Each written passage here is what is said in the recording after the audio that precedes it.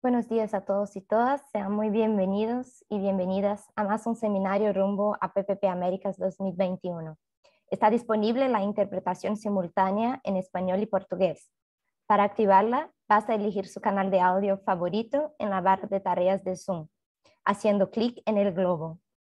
Este es nuestro cuarto seminario en el camino a PPP Américas 2021. Si te perdiste alguno de los anteriores, Puedes verlos en la lista de reproducción rumbo a PPP Américas 2021 en nuestro canal de YouTube del BIT. Y recordamos también que ya puedes registrarse para el PPP Américas. El evento tendrá lugar el 9 y 10 de diciembre y será transmitido totalmente, de manera totalmente virtual en nuestra plataforma exclusiva de streaming y networking. Accede a pppamericas.com y regístrate para participar con nosotros.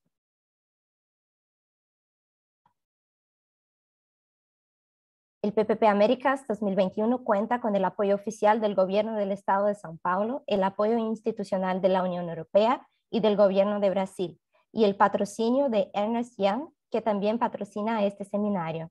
En instantes empezaremos con este evento.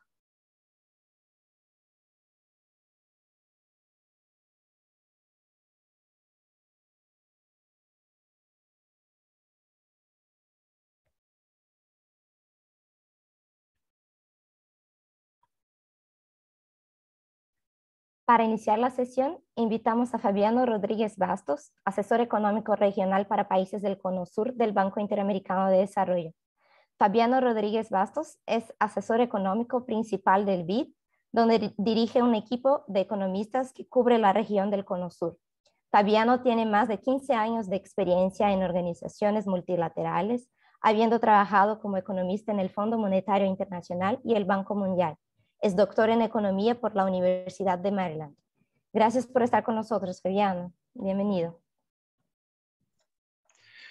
Muchas gracias, Ana. Eh, muchas gracias por la invitación. Es un placer estar con ustedes y, buenos días a todos los participantes y, la gente que nos escucha, ¿no? Seguro que hoy va a ser una, conversación importante, es parte de una serie de seminarios que, que creo que va al grano de generar el conocimiento necesario eh, para que tengamos eh, políticas públicas de mejor calidad en el tema de APPs. ¿no? Quisiera yo hacer tres puntos principales, eh, muy cortitos en mi charla inicial, que, quizás puede aportar un poco a las discusiones. El primer punto tiene que ver con el entorno macro.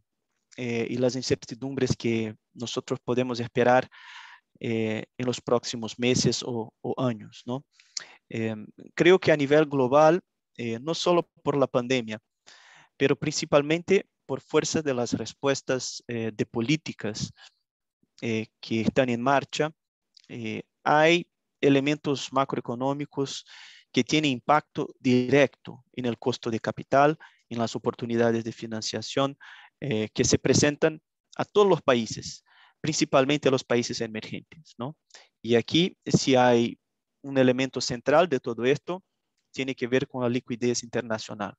¿no? Mucho se habla eh, de cuando, por ejemplo, eh, los países más avanzados, en particular Estados Unidos, va a empezar su proceso de normalización de tasas de, de política monetaria. Eso está ahí en debate. Ahora ya un poco los analistas se posicionan como que en algún momento en 2022 esto puede pasar. Pero mismo antes de esto hay un proceso de normalización de operaciones no tradicionales que tiene que ver con eh, el rol que el Fed tiene en proveer liquidez en el mercado, que ya puede afectar a la liquidez en los mercados. Entonces, lo que existe es un entorno global donde muy posiblemente vamos a tener una reversión eh, de la liquidez eh, disponible ya empezando este año, no con aumento de tasas de, interés, pero sí a través de la remoción de algunos, de algunos, eh, algunos elementos de políticas que, que dan liquidez al mercado.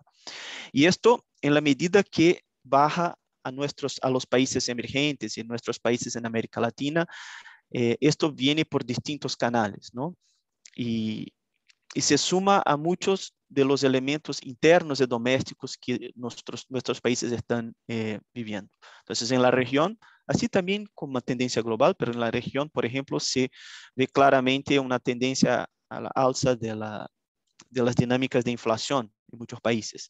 Varios bancos centrales ya están tratando de normalizar sus, sus políticas eh, monetarias y esto va a tener impacto en, en la tasa de interés eh, por todos los países, ¿no?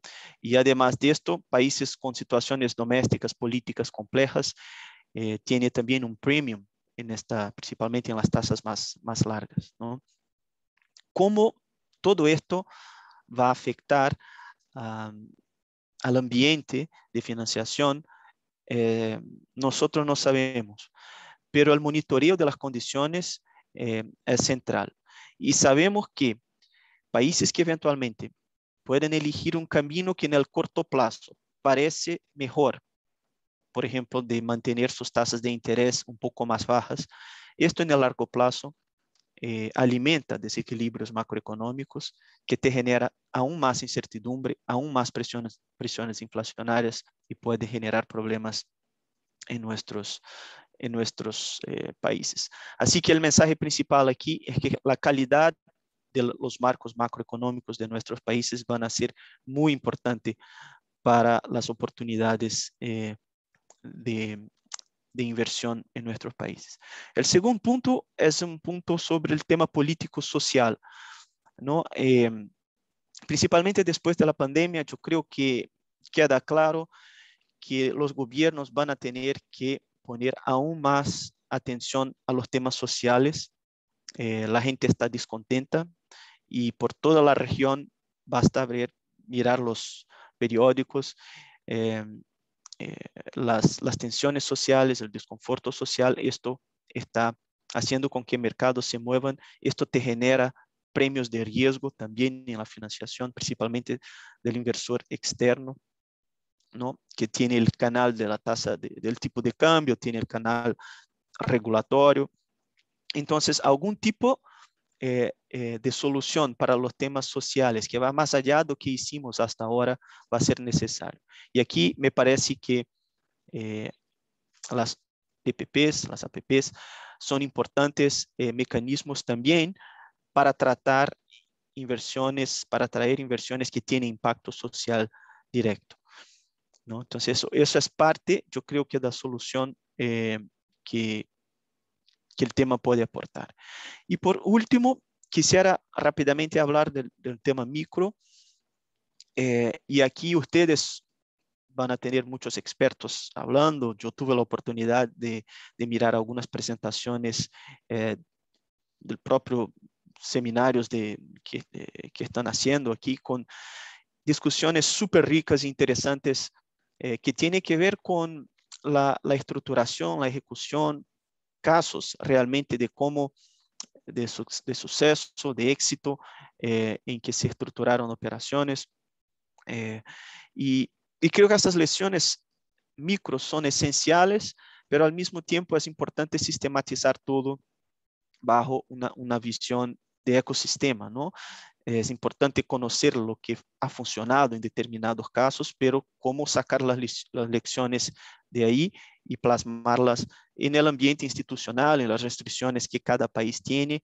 Aquí está el, este jugo, si quieres, un poco del network effect, ¿no? Que, que eh, eh, eh, la externalidad de red que esto puede, puede generar. Y por esto que felicito a Gastón, su equipo y a todos los, los colaboradores de esta iniciativa porque este tipo de conocimiento no, no está así listo para, para comprar en las prateleras. Eso es, tiene que ser construido y, esto es parte del proceso.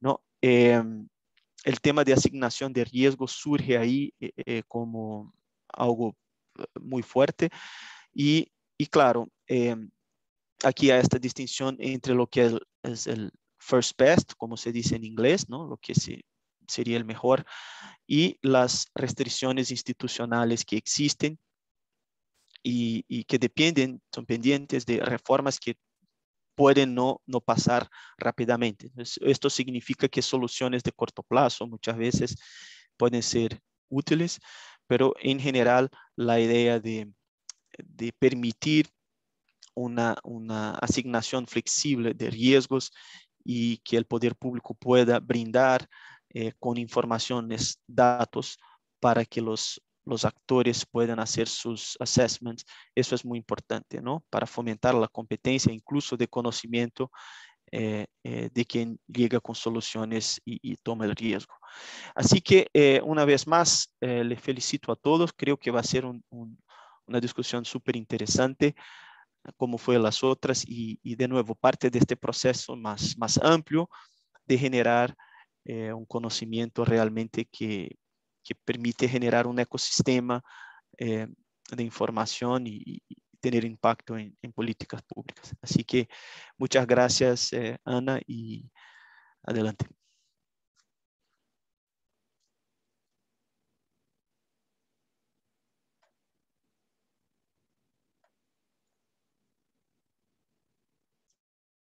Muchas gracias, Fabiano. Y ahí ya, muchas gracias, Fabiano, por todo, por, todas estas palabras de abertura. Ah, vamos directamente a la presentación del documento de discusión que hoy nos toca, ah, que será liderado y presentado por, por Daniel Vieites Martínez, fue el coordinador de esta iniciativa y contó con la participación de muchos especialistas de la región que estuvieron con, con el equipo que ha dado forma a este trabajo. El documento se llama Criterios de Selección de Proyectos APP, determinantes de la generación del valor eh, en el uso de los recursos públicos y eh, muy brevemente estará disponible para, para, que todos puedan descargar y, y leerlo. ¿no? Ahí, ah, bueno, les presento a Daniel. Daniel cuenta con más de 20 años de experiencia trabajando dentro del sector público del sector privado y académico y de la banca multilateral de desarrollo, en áreas afines a la participación privada en el desarrollo de proyectos de inversión en infraestructura pública y actualmente es especialista senior del equipo APP del Banco Interamericano de, Desarrollo, en el que lidera y apoya operaciones relacionadas al diseño y fortalecimiento de políticas APP y a la preparación, estructuración y cierre financiero de proyectos APP en Latinoamérica y el Caribe. Gracias, Daniel.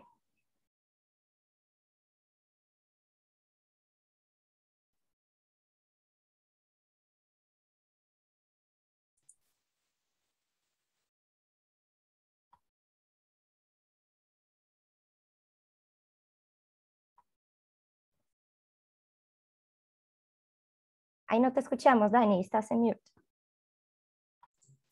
¿Se me escucha, Ana Ahora sí, perfecto y se ve la presentación también.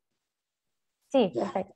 Muy bien, muchísimas gracias eh, por, la, por, eh, por, las palabras de, Fabiano y a ti por la, introducción.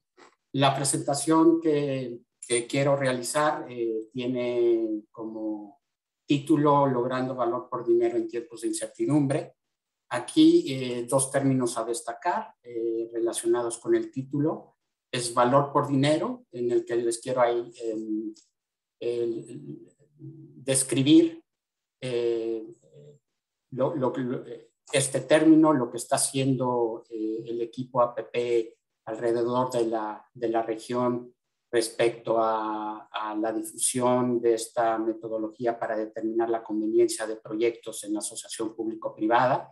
Y otro término importante es el de incertidumbre, ¿no? ¿Qué, qué duda eh, cabe que hoy en día estamos viviendo tiempos de incertidumbre, dado los tiempos de pandemia, eh, pero también eh, dado los, los tiempos de políticos, de cambios de política de, administraciones en diversos países, que están generando inestabilidad propia de un gobierno entrante, ¿no? Normal que está ajustando, digamos, sus políticas económicas, ¿no?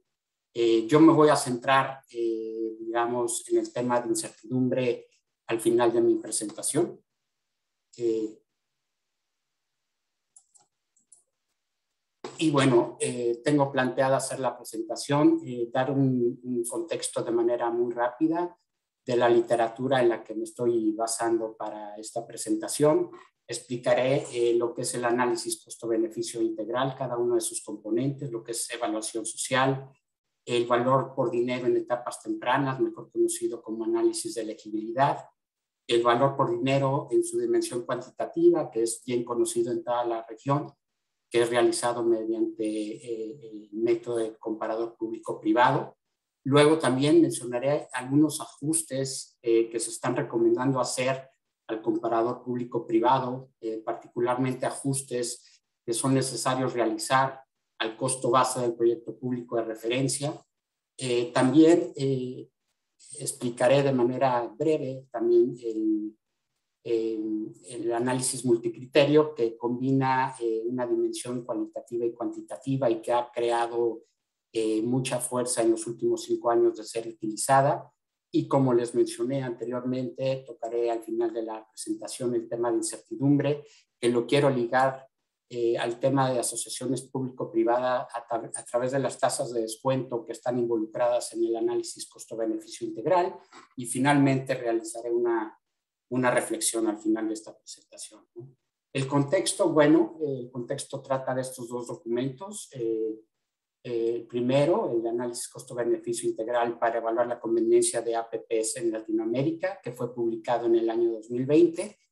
Eh, ahí en este documento se sistematiza los análisis costo-beneficio integral eh, que están siendo utilizados en diferentes países de, de, la región. Se explica bien en qué consiste este análisis costo-beneficio integral.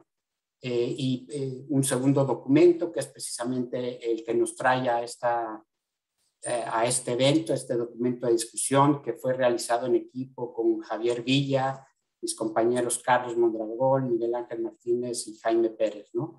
Eh, que es denominado Criterios de Selección de Proyectos APP, determinantes de la generación en el valor de los recursos públicos, que está muy ligado con el tema de, de valor por dinero. ¿no? Es un documento en el que explica cómo eh, se pueden seleccionar buenos proyectos en el, en asociación público-privada. ¿no? Entonces, bueno, efectivamente el análisis costo-beneficio integral es integral y secuencial. ¿Por qué integral? Bueno, porque no únicamente toca eh, un solo eh, método de, eh, de análisis costo-beneficio, sino que integra estos, cuatro, estas cuatro herramientas que vemos aquí. El de evaluación socioeconómica, que parte de un proyecto público de inversión eh, que, eh, en el que se hay, hay, que determinar si es socialmente rentable. En caso de que sea socialmente rentable, hay que ver mediante qué mecanismo eh, ejecutarlo, sea obra pública tradicional o asociación público-privada.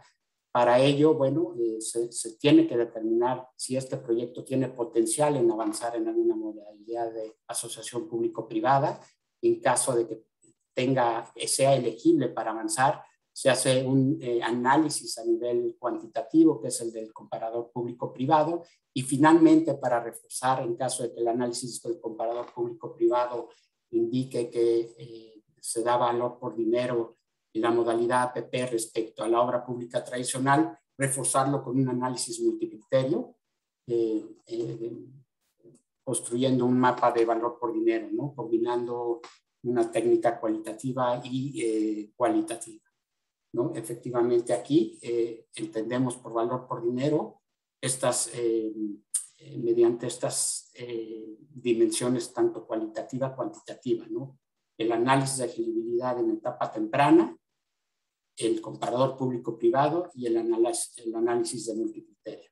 Y aquí, bueno, vemos los modelos de asociación público-privada que las leyes APP eh, están clasificando, son modelos conocidos en la región, que básicamente eh, eh, están divididos en, autofinanciables y cofinanciados.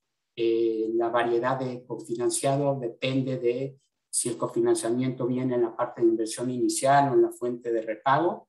y lo más relevante aquí, porque se los quiero mostrar, porque todas estas modalidades aplican para el análisis del comparador público-privado. Anteriormente únicamente eh, las metodologías del comparador público-privado estaban concebidas para eh, las modalidades cofinanciadas, pero actualmente ya se ha extendido su uso también para eh, eh, modelos APP autofinanciados. Aquí, bueno,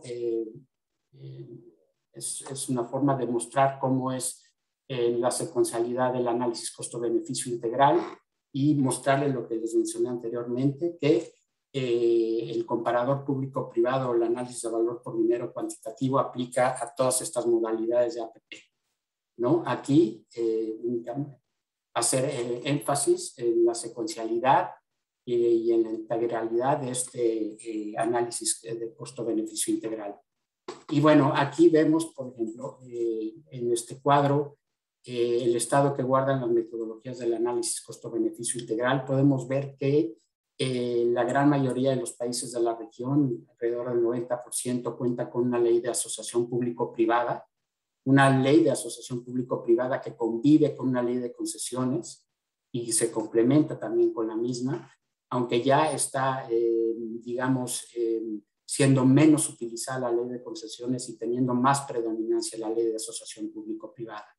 ¿No? vemos aquí que la ley de asociación público-privada en los países exigen eh, y formalizan eh, distintos métodos que componen eh, el análisis de costo-beneficio integral, formaliza la evaluación socioeconómica, el análisis de elegibilidad, el comparador público-privado en casi todos los países y en menor medida está haciendo utilizar el análisis multicriterio, probablemente porque los países quieren un enfoque más pragmático, más cuantitativo y bueno, está todavía en una fase de, de difusión eh, porque es eh, recomendado el refuerzo de este análisis una vez realizado el comparador público-privado. ¿no? De aquí, bueno, eh, explicar cada una de estas herramientas que componen el análisis costo-beneficio integral de manera muy breve, ¿no? La evaluación socioeconómica, ¿no? que se eh, distingue de una evaluación privada que eh, en la evaluación privada se realiza eh, con precios de mercado y una tasa de descuento privada, mientras que la evaluación socioeconómica se realiza a precios sociales y se incorporan los efectos indirectos y externalidades del proyecto y es descontada con una tasa social de descuento. Aquí quiero yo decirles que una evaluación social no se refiere a una evaluación de reducción de pobreza o de aspectos sociales. ¿no? La evaluación social tiene que ver con eh, sociedad, es, es decir, la, la, evaluación socioeconómica eh, lo que evalúa es la contribución del proyecto la, en la, riqueza del país en su conjunto, en la riqueza de la sociedad en su conjunto. ¿no? Y es un filtro importante para evitar elefantes blancos. ¿no? Aquí, por ejemplo, es importante también saber, la evaluación socioeconómica sirve para seleccionar proyectos, es decir, es una herramienta importante de planeación. Por ejemplo, aquí tenemos eh, un, problema típico de límite de recursos en los que se quieren realizar cinco proyectos. Eh, la limitante de recursos permite eh, que se lleven a cabo dos proyectos, el A y el B, que son socialmente rentables. Los restantes también socialmente son socialmente rentables, sin embargo los recursos no alcanzan para eh, llevarlos a su ejecución. Eh, y bueno, aquí la evaluación socioeconómica permite optimizar, optimizar los proyectos desde el punto de vista de su momento óptimo de, de ejecución y de tamaño óptimo también y localización óptima. Entonces, realizando un análisis de optimización, eh, podemos ver aquí eh, eh, que el proyecto A no está en su tamaño óptimo, se puede reducir y este, dando los mismos beneficios netos a la sociedad. El proyecto B se hizo un, análisis de tasa de rentabilidad inmediata, llegando a que no es un momento óptimo de ejecución, por lo que se puede postergar, y eso da lugar a que se conforme una cartera que dé entrada a la ejecución de eh, dos proyectos más respecto al, al, al, al, planteamiento, a la primera cartera planteada. ¿no? Entonces, eh, eh, la evaluación socioeconómica sirve para determinar la, rentabilidad social de un proyecto, pero también para conformar una cartera de proyectos, eh, identificarla y jerarquizarla. Es una herramienta de, de, planeación poderosa, ¿no?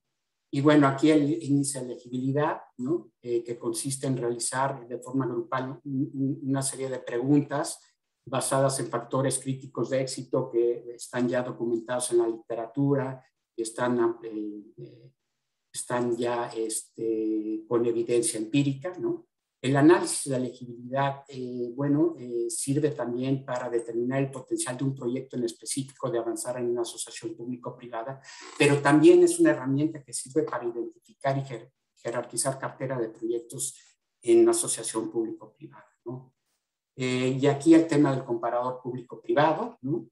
Una vez que el proyecto tiene proyecto público de inversión en infraestructura y servicios tiene, indica que tiene potencial de avanzar en asociación público-privada, pues se realiza la, el análisis cuantitativo mediante el comparador público-privado. ¿no?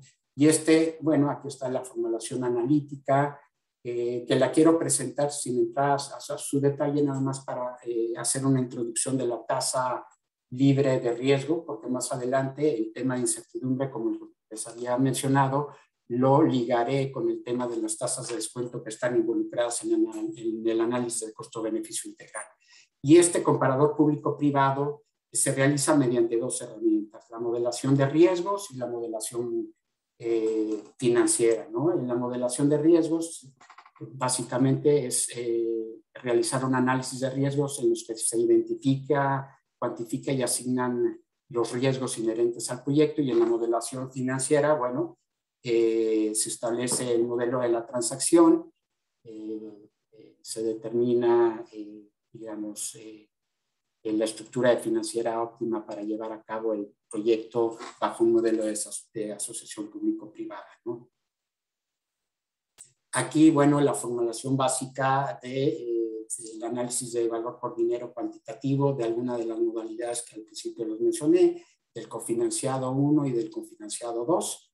Eh, no quiero entrar a detalle, no da tiempo para entrar a detalle a esto, ¿no? Pero bueno, existe eh, actualmente el debate y eso se toca en el documento de discusión eh, que, que, se está presentando en este evento y que más adelante mi compañero Javier Villa ahondará sobre esto, ¿no? De los ajustes que se, se recomienda hacer en la metodología del comparador público-privado. Son ajustes eh, que eh, son necesarios eh, dados los supuestos los, de los que uno parte para realizar la estimación de, los costos tanto del proyecto público de referencia como el de asociación público-privada y de los ingresos. ¿no? Aquí el primer ajuste que se recomienda hacer es el tema de, de la neutralidad impositiva, es decir, que en el para determinar el costo de asociación público-privada, eh, eh, el tema de los impuestos tenga un, efecto neutro, ni afecte ni beneficie el costo de la asociación, de la asociación público-privada. ¿Y de qué surge este debate? Bueno, que en el proyecto público de referencia, que es eh, el equivalente a realizar el proyecto público de inversión en infraestructura bajo obra pública tradicional, se parte del supuesto que es una empresa pública la que realiza eh, la ejecución del proyecto tanto en su etapa de diseño, construcción, operación y mantenimiento y que la empresa pública, las empresas públicas no pagan impuestos. Entonces, para hacer una comparación eh, justa, eh, se está debatiendo en mantener neutro el efecto de, los impuestos en el costo de la, asociación público-privada.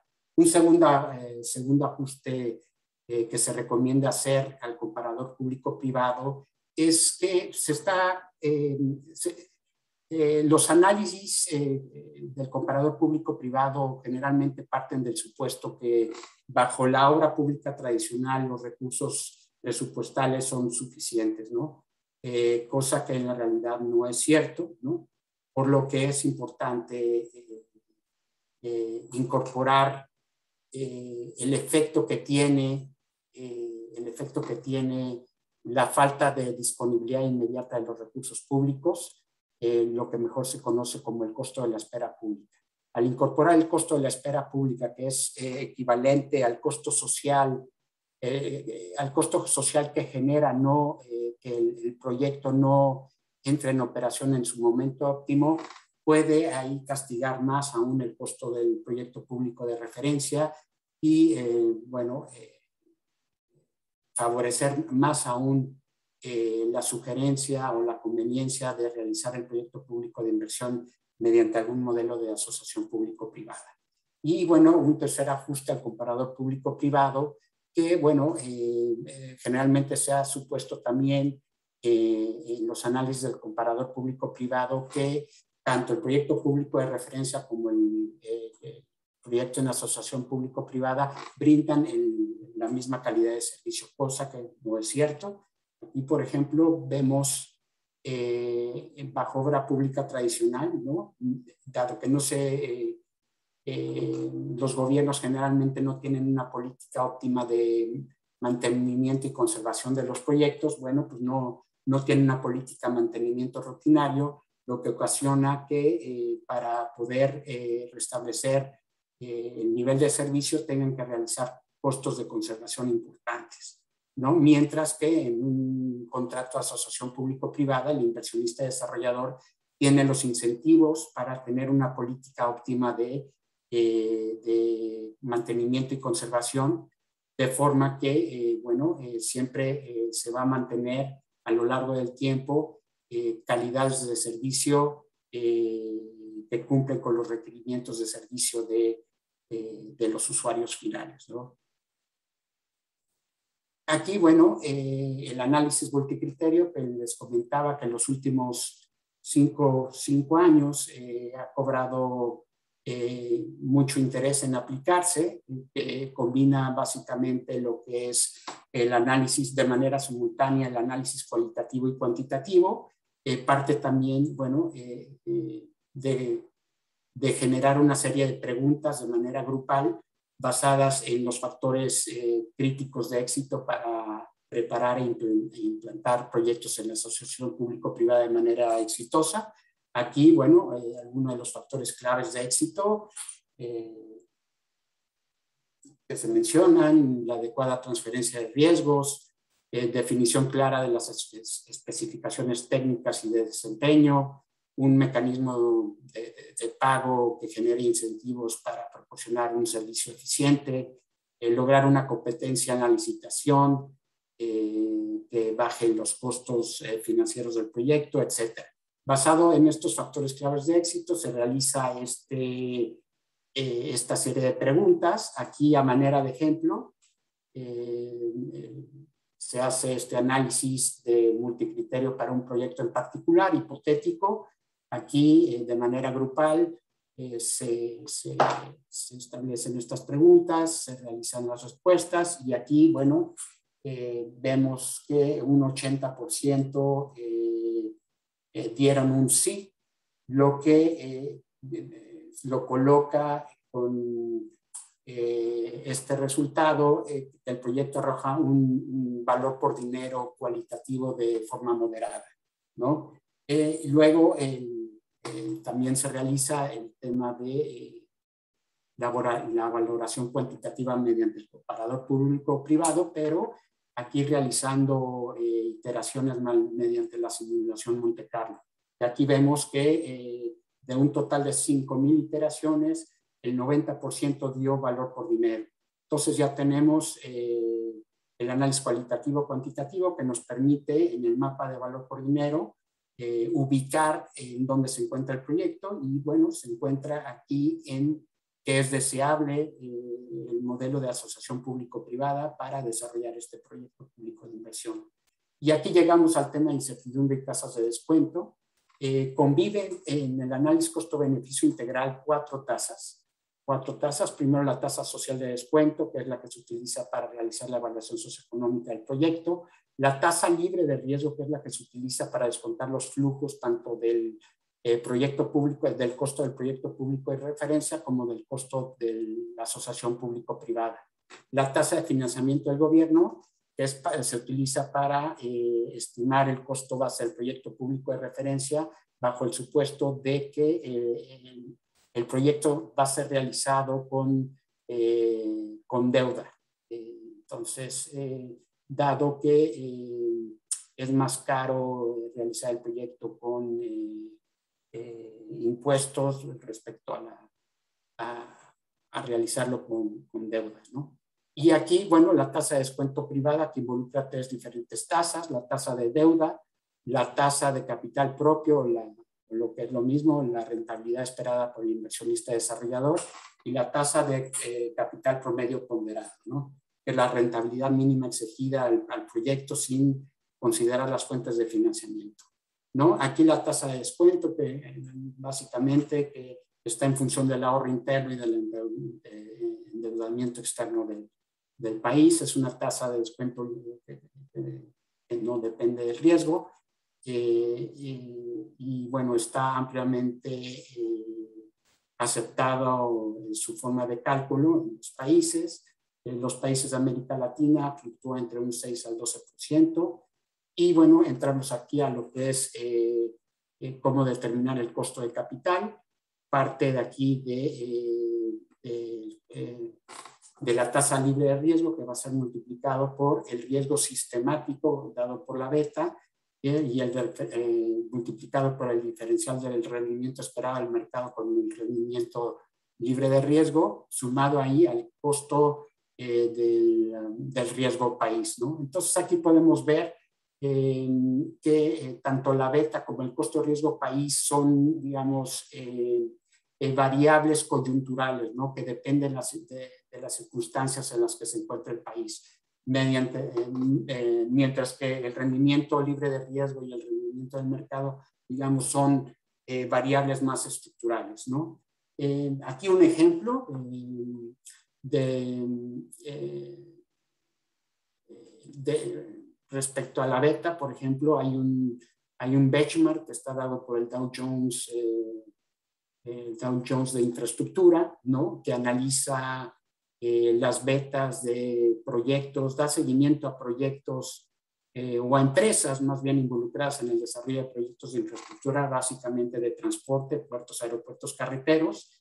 Eh, es un índice, es un benchmark importante y aquí, por ejemplo, este, este benchmark está dando, por ejemplo, que del periodo 2010 al 2019 la beta de activos para proyectos carreteros fue del punto 53. Pero ¿qué ocurrió? Esta beta eh, eh, durante el periodo de la pandemia 2020-2021 eh, se incrementó a punto 74. Y como dijo Fabiana, obviamente esta, este, este mayor riesgo tiene un efecto en el costo de capital esperado de, de, los proyectos de, de asociación público-privada. ¿Por qué se ha dado este incremento de, de las betas? Bueno, porque bueno, la, el mercado ha castigado el precio de las acciones de las empresas de infraestructura por razones obvias, por la pérdida de ingresos que, en el caso de carreteras eh, dejaron de circular una gran cantidad de automóviles, etcétera, que bueno, fue castigado eh, por el mercado en el precio de las acciones y se está viendo reflejado en este incremento en, en la beta de activos. Entonces ya una vez eh, obtenido esta beta de activos, eh, lo, transformamos, lo, transformamos en una beta apalancada para tomar en consideración el tema del endeudamiento, convertimos esta beta eh, dependiendo de la estructura de financiamiento, ahí consideramos dos estructuras 75, 25, 85, 15, obteniendo la beta apalancada. aquí vemos algunos resultados. Y bueno, eh, aquí ya eh, podemos obtener ya la rentabilidad esperada, eh, cómo, está afectando la rentabilidad esperada de los proyectos carreteros dado el incremento de la beta de, de activos.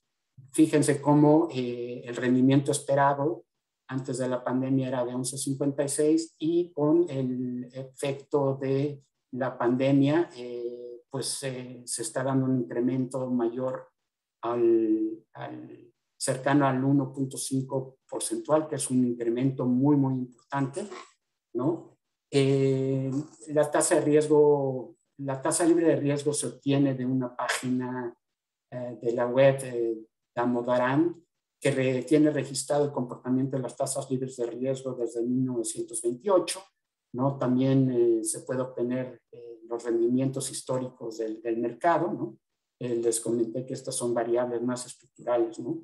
y bueno, vemos aquí, por ejemplo, el costo de riesgo país de 364. Este corresponde, podría corresponder a, República, a República Dominicana. ¿No? Eh, no hay un, un, incremento en el costo de riesgo país. Con la pandemia, algunos países tuvieron cambios en el costo de riesgo país, otros no. Eh, y bueno, aquí vemos el efecto que tiene la rentabilidad esperada de los proyectos carreteros, el tema de la, de la pandemia.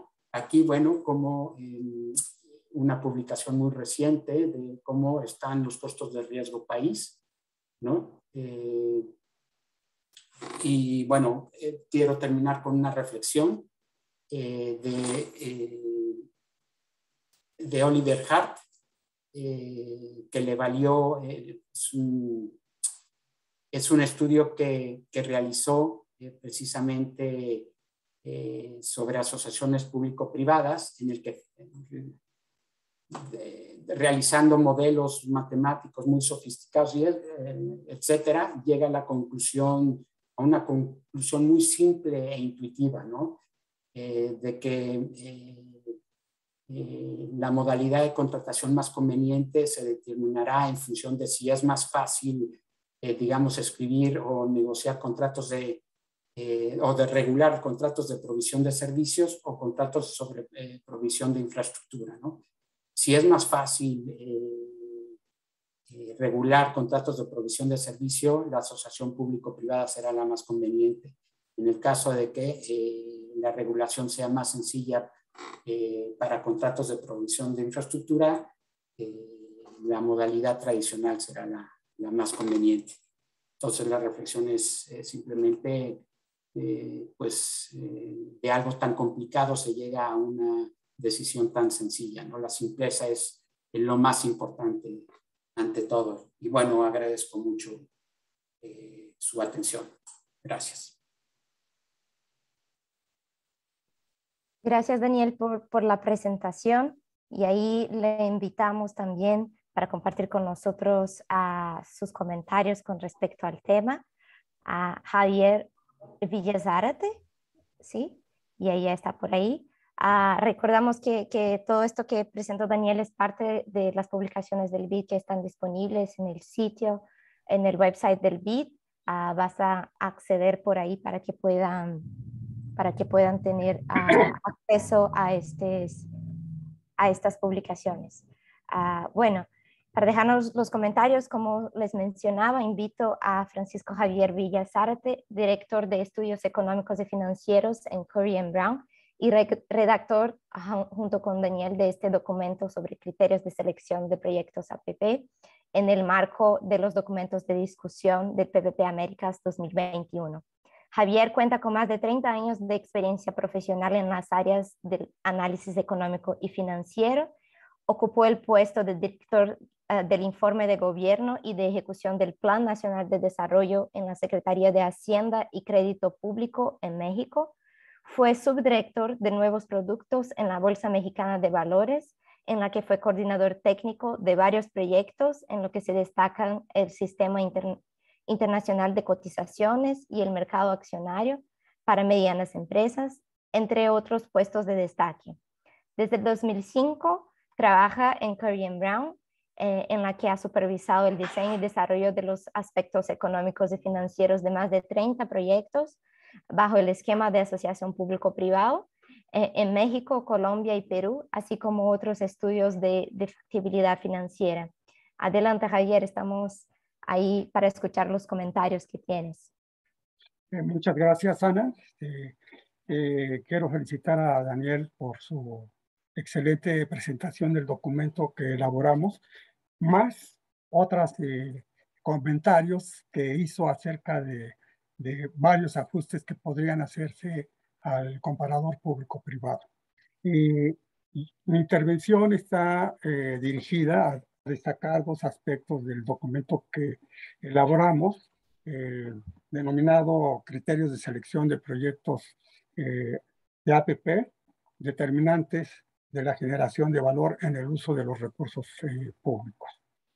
Eh, yo quiero mencionar, eh, en primer lugar, que en el documento hicimos una revisión de la literatura especializada en APPs, en especial en lo relativo al análisis del valor por el dinero, y ahí encontramos que en la región, en América Latina y en el Caribe, efectivamente se sigue la tendencia internacional de hacer un análisis eh, del valor por el dinero que contiene dos componentes eh, importantes, un, un, análisis cualitativo y un análisis cuantitativo.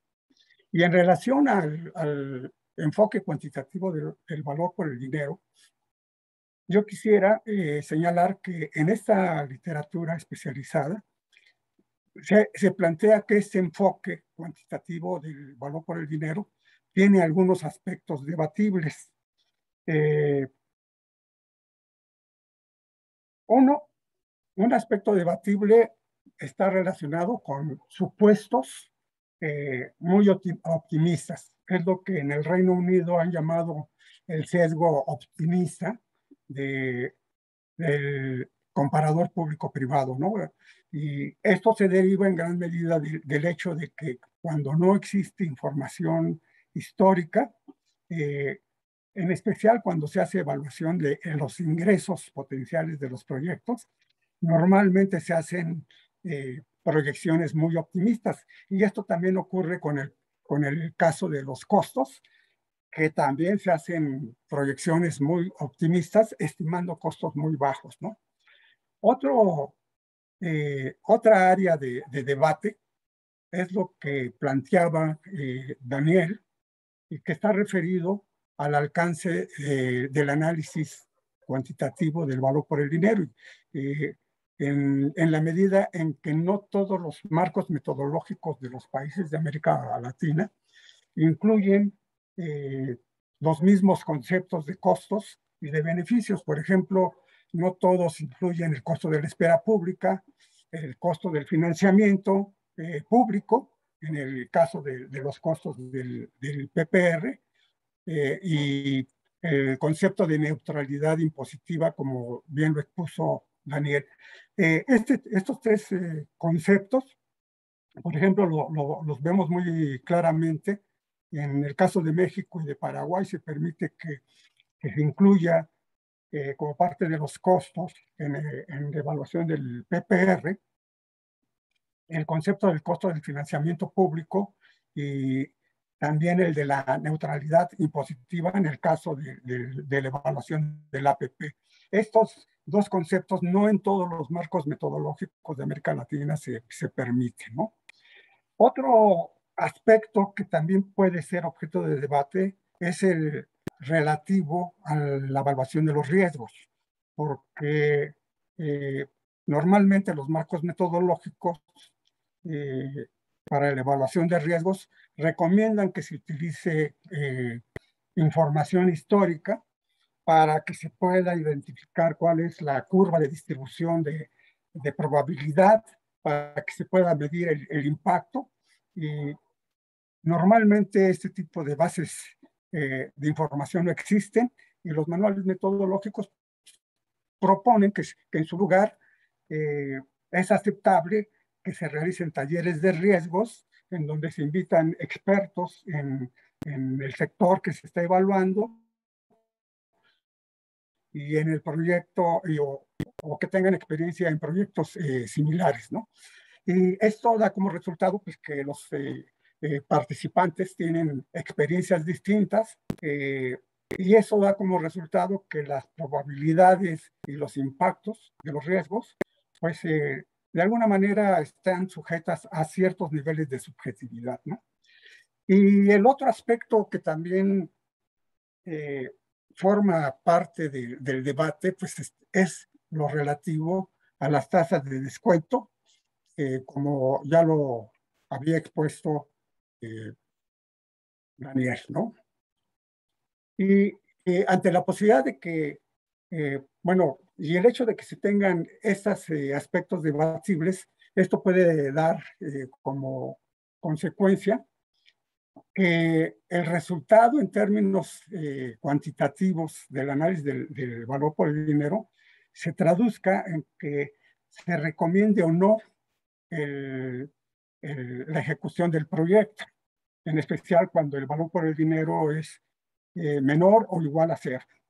Y entonces la consecuencia de que no tengamos este, eh, la posibilidad de contar con un marco metodológico que, no es, que esté exento eh, a criterios, supuestos y subjetividades, que pues puede dar como resultado que se proponga que no se desarrolle el, el proyecto. Y, ante esa posibilidad, por eso se destaca la necesidad de hacer un análisis de tipo cualitativo en donde se tomen en consideración no los aspectos exclusivamente financieros de costos y beneficios, sino que además se tengan en, eh, cuenta eh, factores de tipo estratégico, eh, cuál es la importancia del proyecto, cómo ayuda al desarrollo, cómo ayuda a, a, luchar contra la pobreza, contra la desigualdad, cómo ayuda al desarrollo regional, etcétera, ¿no? y por otra parte, a fin de evaluar la solidez y la razonabilidad de los puestos utilizados en la estimación de los eh, flujos de costos eh, y de ingresos de los proyectos, eh, tanto del, proyecto público de referencia y de la APP, se recomienda que como parte de la evaluación cuantitativa, pues se lleven a cabo procesos de estrés de los modelos financieros que permitan detectar la fortaleza de esos eh, y la razonabilidad de esos eh, eh, supuestos y criterios adoptados. ¿no? ante esto, se podría decir que estamos cuestionando la validez del uso del comparador público-privado, pero lo que yo quisiera poner en, en relieve, y esto es algo que está escrito en el documento, es que a pesar de todos los cuestionamientos de, los que puede ser objeto el comparador público-privado, eh, este es el único instrumento que permite tener eh, de manera sistemática una identificación de todos los costos y de todos los riesgos que se presentan a lo largo de, la vida eh, del, del, proyecto. Y en ese sentido, pues la recomendación del documento es que se siga utilizando eh, eh, pues este instrumento. Pero al asunto este de la, del debate sobre la razonabilidad de los supuestos y procedimientos utilizados en la valoración de costos, ingresos y riesgos en el comparador público-privado, se suma el potencial conflicto de interés que surge cuando la entidad pública está eh, eh, realizando los estudios eh, pueda sesgar el análisis a favor o en contra de la procuración del proyecto a través del marco de asociación público-privada. En especial cuando esta entidad aprueba la ejecución del proyecto. Y, en ese sentido, pues, para evitar este conflicto de interés, se recomienda que establezcan mecanismos de gobernanza. Esto ha sido algo que se ha logrado en, todos los países de América Latina. Se ha establecido una estructura de gobernanza de, gobernanza de los proyectos APP, eh, que consiste básicamente en reglas, procedimientos que definen los incentivos y las restricciones que guían las estrategias de los distintos actores que participan en el ciclo de un proyecto de APP, como ya lo decía eh, Oriol Prats en un documento recientemente publicado por el, Banco Interamericano de Desarrollo. En la estructura eh, de gobernanza, eh, vemos que existen tres componentes, un marco legal y regulatorio para la ejecución de proyectos APP, un marco institucional en donde se determina cuáles son eh, los actores principales, en donde nosotros vemos eh, que existen ministerios sectoriales, y lo más importante, que existen unidades de APP que son responsables de evitar el conflicto de, interés, ¿no? Eh, y también pues participan de manera importante los ministerios de Hacienda que intervienen en los análisis de riesgos y en muchos países de América Latina son, eh, junto con las unidades de APP, los ministerios de Hacienda o de Finanzas, los que eh, aprueban los proyectos APP. ¿no? Eh, vemos que las unidades APP tienen diversas posibilidades de intervención en esta estructura de gobernanza, pero lo importante es que haya una unidad de APP en la estructura de, de esta de, gobernanza de, de, los APPs. Porque esta unidad puede brindar asistencia técnica a las unidades que están promoviendo los proyectos para que realicen de manera adecuada los estudios eh, del valor por el dinero, eh, el estudio de, de, cómo se están haciendo eh, las propuestas de transferencias de riesgos, así como para estructurar y licitar los contratos, ¿no?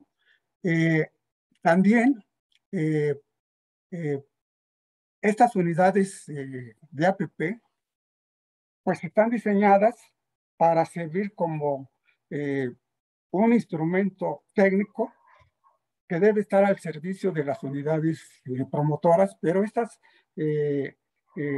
unidades de APPs pues no pueden eh, cumplir las dos tareas, aprobar proyectos y a la vez eh, elaborar los estudios o ayudar a las eh, entidades promotoras a realizar los estudios. Para eso están, digamos, las, las otras instituciones que forman parte de la estructura de gobernanza. vemos que, por ejemplo, en, en el caso de, de la República Dominicana, están eh, en, la estructura de gobernanza contempla una unidad eh, de APP eh, que está identificada como la Dirección General de Alianzas Público-Privadas y la, el órgano que aprueba la ejecución del proyecto no es la unidad de APP, sino que es el Consejo Nacional de Alianzas Público-Privadas, que es un organismo que tiene a su servicio a la Dirección General de, de Alianzas Público-Privadas como parte de la estructura técnica, pero esta dirección no aprueba los proyectos, ¿no? Eh, por ejemplo, en el caso de, México, eh, existe la Comisión Intersecretarial Gasto Financiamiento, eh, que está compuesta por diversos ministerios. Está el Ministerio de Hacienda, el Ministerio de Salud, el de Comunicaciones y Transportes, etcétera, etcétera. Y Aquí es donde se aprueban los proyectos y donde se revisa la aplicación del marco regulatorio para la elaboración de los proyectos APP y para la estructuración, licitación, es la unidad de inversiones que está radicada eh, dentro de la Secretaría de Hacienda. Y esto de alguna manera ocurre también en Colombia, eh, en donde eh, pues la, la aprobación de los proyectos pues está básicamente eh, radicada en el, en el Ministerio del, del, Sector, promotor del proyecto, eh, el cual debe conseguir para la aprobación de ese proyecto eh, la aprobación del Consejo Superior de Política Fiscal, conocido como CONFIS, y también de la Dirección Nacional de, de Planeación, o perdón, el Departamento Nacional de Planeación. Este, y a la vez, el Departamento Nacional de Planeación es la unidad APP, porque ahí reúne a un conjunto de expertos que, que dan asistencia técnica a todos los eh, ministerios que están promoviendo eh, los proyectos. Eh, entonces, yo quisiera cerrar mi participación señalando que recomienda que se siga utilizando el comparador público-privado a pesar de todas las eh, críticas de la que puede ser objeto, porque esto permite a los gobiernos tener una idea clara de cuánto va a costar el proyecto, no únicamente en la fase de la inversión, sino durante toda la fase de operación eh, y mantenimiento, pero lo más importante es que a través de las APPs se ha incorporado un concepto administración de riesgos, que esto es algo que normalmente no se hacía para eh, la operación de los, de los proyectos eh, de infraestructura en, en, América Latina, ¿no? Y en este sentido, digamos que es eh, el comparador público-privado es lo que permite tener una idea clara no únicamente de los costos en el, en el, durante la vida del proyecto, sino también los potenciales riesgos que puede enfrentar el, el proyecto. Y en este sentido, eh, yo quisiera eh, terminar eh, haciendo la, la, la, indicación de que en estos tiempos de incertidumbre se requiere que haya una la posibilidad de estructuración de, de los contratos que se están haciendo actualmente, pues haya la posibilidad de revisar algunas cláusulas de los contratos de APP eh, relacionados con los efectos del COVID, que por ahí se dice que el COVID ya, ya va a acabar. vi una nota el día de ayer en, en donde la Organización Mundial de, de, Salud decía que estamos a punto de, de que concluya la pandemia, siempre y cuando algunos países que van rezagados con la vacunación eh, cumplan eh, con sus programas para que de alguna manera se, se logre controlar eh, esta pandemia. Y sin embargo, pues no está claro que vaya a ocurrir y por lo tanto pues, se plantea la necesidad de que en los contratos de APP pues se establezcan eh, cláusulas que permitan hacer frente a, a, cierto tipo de, de, factores que se derivan de, esto, ¿no? Eh, por ejemplo, hacer una definición más amplia de lo que son, eh, de lo que es fuerza mayor, ¿no? Eh, se incluyen los efectos del COVID. Por ejemplo, yo estaba viendo que en un proyecto de, de México, es un acuario, estaba previsto que iniciara operaciones en Semana Santa de este año y resultó que no fue posible hacer el, el el, ajuste, el, la apertura o el inicio de operaciones por los efectos del COVID. Y entonces aquí el contrato pues generó problemas porque eh, pues eh, al no iniciar operaciones esto significó que el, acreedor no tuviera la posibilidad de obtener los ingresos en la fecha prevista y entonces de ahí se generaron muchos problemas, ¿no? Entonces como que la cláusula de fuerza mayor debería de tener eh, más flexibilidad, ¿no?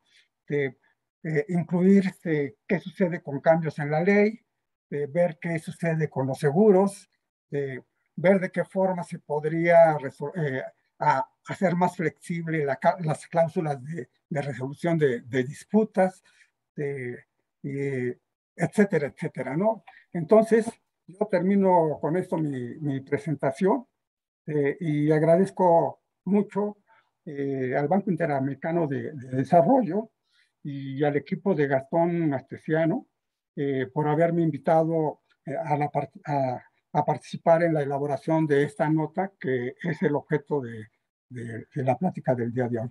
Muchas gracias a todos. A ti, Javier. Gracias por, por su intervención y por sus comentarios. Además, por, la, por haber aceptado este, esta invitación para ser parte de los documentos de discusión en PPP Américas 2021. Entonces, ahí pasamos para nuestro panel uh, de hoy. Y, y, y, para empezar con el debate, me gustaría invitar a nuestra moderadora, a Pauline Debeck. Pauline se, se, ha juntado con el equipo APP del Banco Interamericano de Desarrollo en 2019. Eh, es secondí del Banco Europeo de Inversiones y actualmente trabaja en varias iniciativas APP en América Latina. Uh, antes del BID, Paulina ha gestionado una cartera diversa de financiamiento de proyectos en Europa y Reino Unido, uh, con el rol de resolución de, eventos complejos post cierre. Uh, y antes de entrar en el BID, ha actuado como directora asociada en el Dutch Infrastructure Fund, representando el fondo en juntas de directores Ella ha cubierto una cartera de inversión en proyectos de infraestructura y, energía renovable. Y además, Pauline posee magíster en gestión cum laude eh, de la Universidad Católica de Leuven en Bélgica. Adelante, Pauline. Muchas gracias, Fabiano, por las palabras de abertura, Daniel por la excelente presentación y Javier Vila por sus comentarios muy pertinentes. Y muchas gracias a Ana Beatriz por la introducción. Buenos días, buenas tardes a todos que están conectados desde su casa u oficina. Soy Pauline de Bac y como lo ha dicho Ana Beatriz, soy una segundí del Banco Europeo de Inversiones y trabajo en el equipo APP del BIT desde hace dos años. Es un honor y un placer poder moderar este panel denominado Logrando valor por dinero en tiempos de incertidumbre.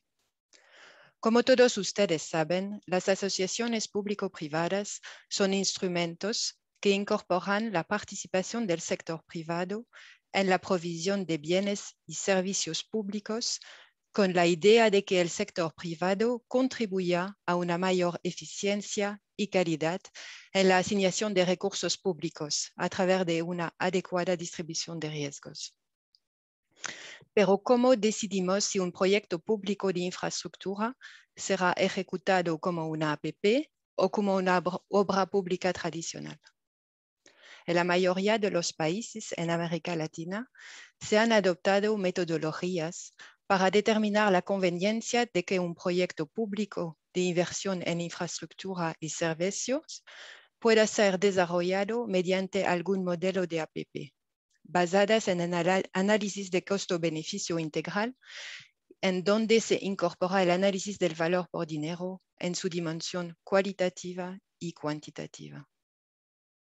Según como está detallado en el documento de discusión, la metodología de aprobación de proyectos APP puede llevarse a cabo en las tres fases de la etapa de su desarrollo, incorporando componentes de carácter cuantitativo y cualitativo. En la fase de identificación y selección del proyecto como APP, se hace una evaluación cualitativa mediante el, análisis de la elegibilidad del potencial del proyecto público de infraestructura como APP. Asimismo, durante la fase de preparación y estructuración del proyecto APP, se hace un análisis cuantitativo del, del valor por dinero basado en la metodología del comparador público-privado. Y por último, en la fase de administración del contrato de APP, se hace un cálculo, adicional del valor por dinero para determinar el desempeño real del proyecto APP. No existe una metodología universal, ya que cada país en la región establece en sus marcos regulatorios sus propias metodologías para establecer las conveniencias en APP. Hoy tenemos la suerte de contar con la presencia en este panel de expertos de cinco países de nuestra región que van a compartir su experiencia sobre la utilización del análisis del valor por dinero y de los desafíos que enfrentan para mejorar esta herramienta para seleccionar buenos proyectos y su modalidad más conveniente para los gobiernos de su contratación. Algunos de los desafíos, por ejemplo, que ya mencionaron Daniel y Javier son los aspectos relacionados a los supuestos utilizados para estimar los costos e ingresos en el comparador público-privado o el potencial conflicto de interés que surge del análisis del valor por dinero y la necesidad de una gobernanza de APP. El objetivo de este panel es discutir sobre los diversos aspectos que incorpora el análisis del valor por dinero en un contexto de incertidumbre, dada la coyuntura de la pandemia y los cambios de gobiernos que están gestando al nivel regional. Es un honor para mí poder contar con la participación de cuatro panelistas excepcionales con mucha experiencia en APP.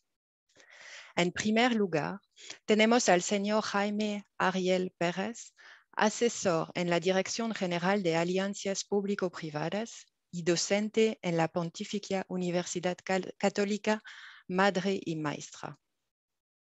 Es economista con posgrado en matemáticas y una maestra en macroeconomía avanzada y mercados financieros de la Universidad Pompeu Fabra de Barcelona. Apoyo desde el inicio en 2018 en la puesta en marcha del marco normativo y de la evaluación de las APP en la República Dominicana.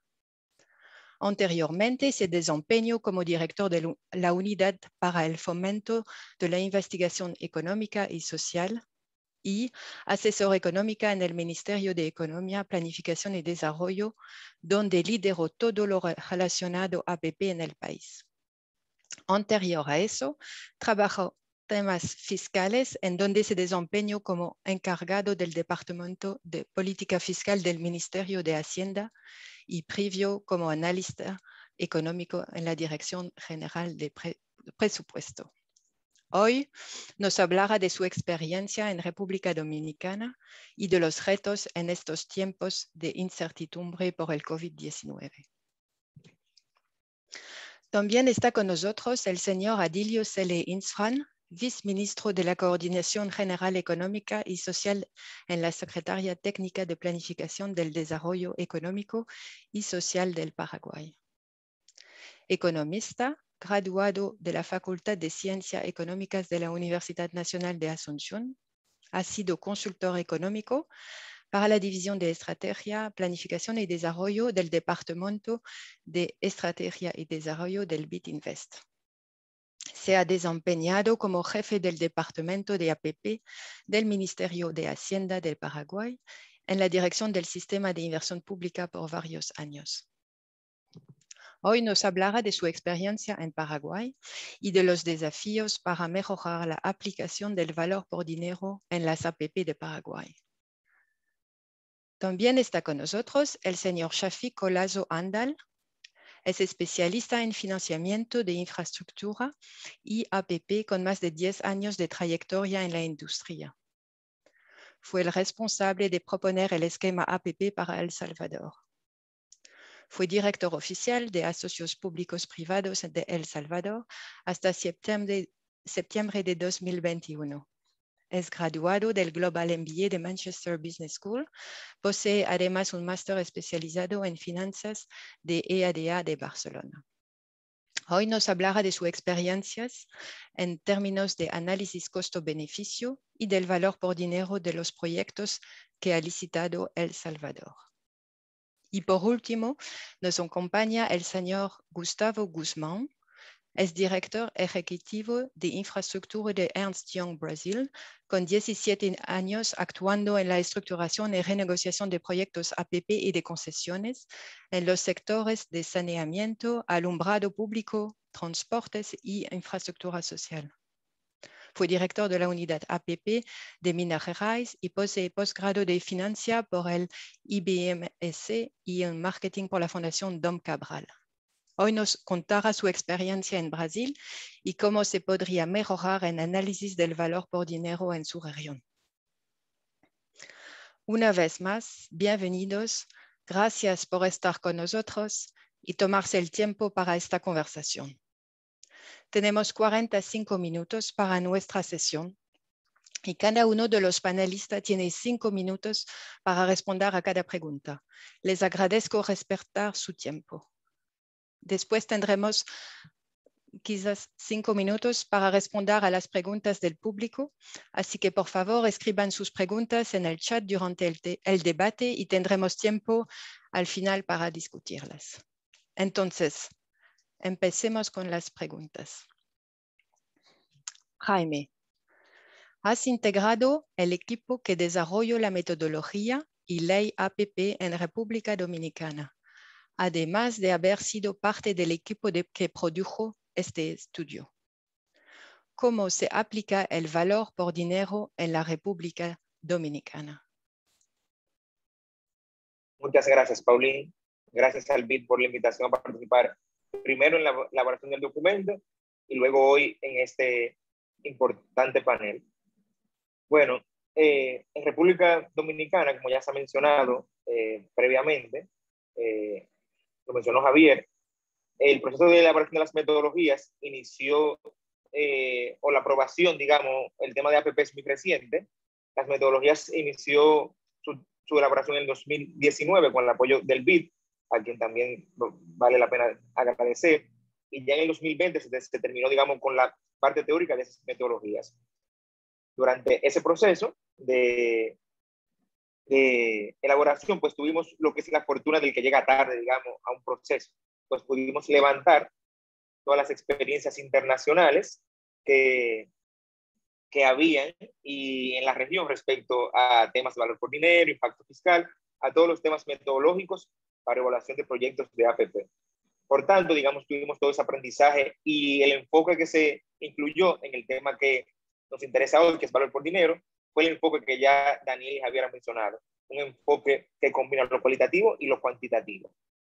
Eh, en primer lugar, un índice de elegibilidad, luego un comparador público-privado, luego un mapa de valor por dinero, como mencionaba Daniel, Daniel, con la diferencia de que ese mapa solamente se aplica para iniciativas públicas, para iniciativas que quien la origina es un agente público.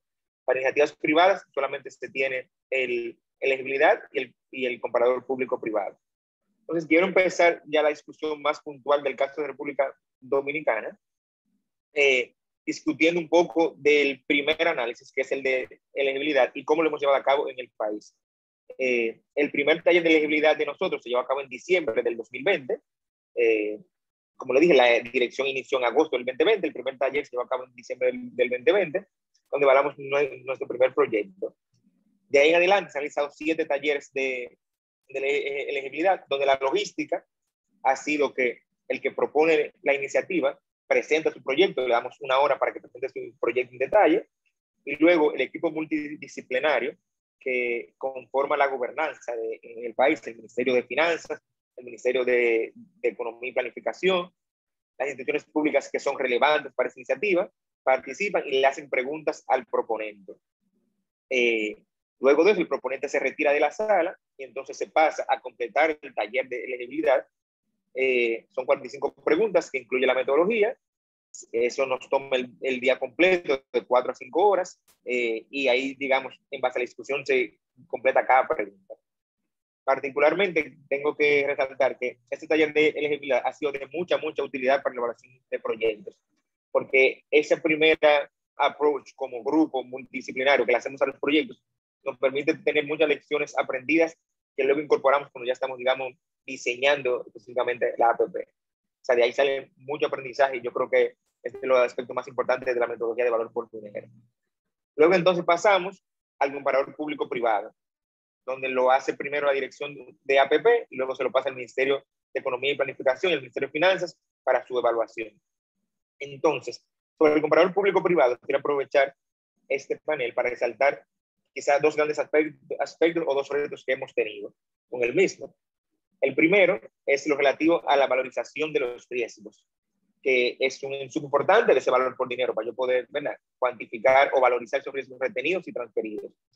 ¿Por qué un gran reto? Bueno, eh, un país que está iniciando ahora, donde tampoco en temas de inversión pública tiene tanta data, data limpia disponible, hemos enfrentado muchos temas de disponibilidad de data sea, no hemos podido utilizar data histórica para valorizar estos riesgos.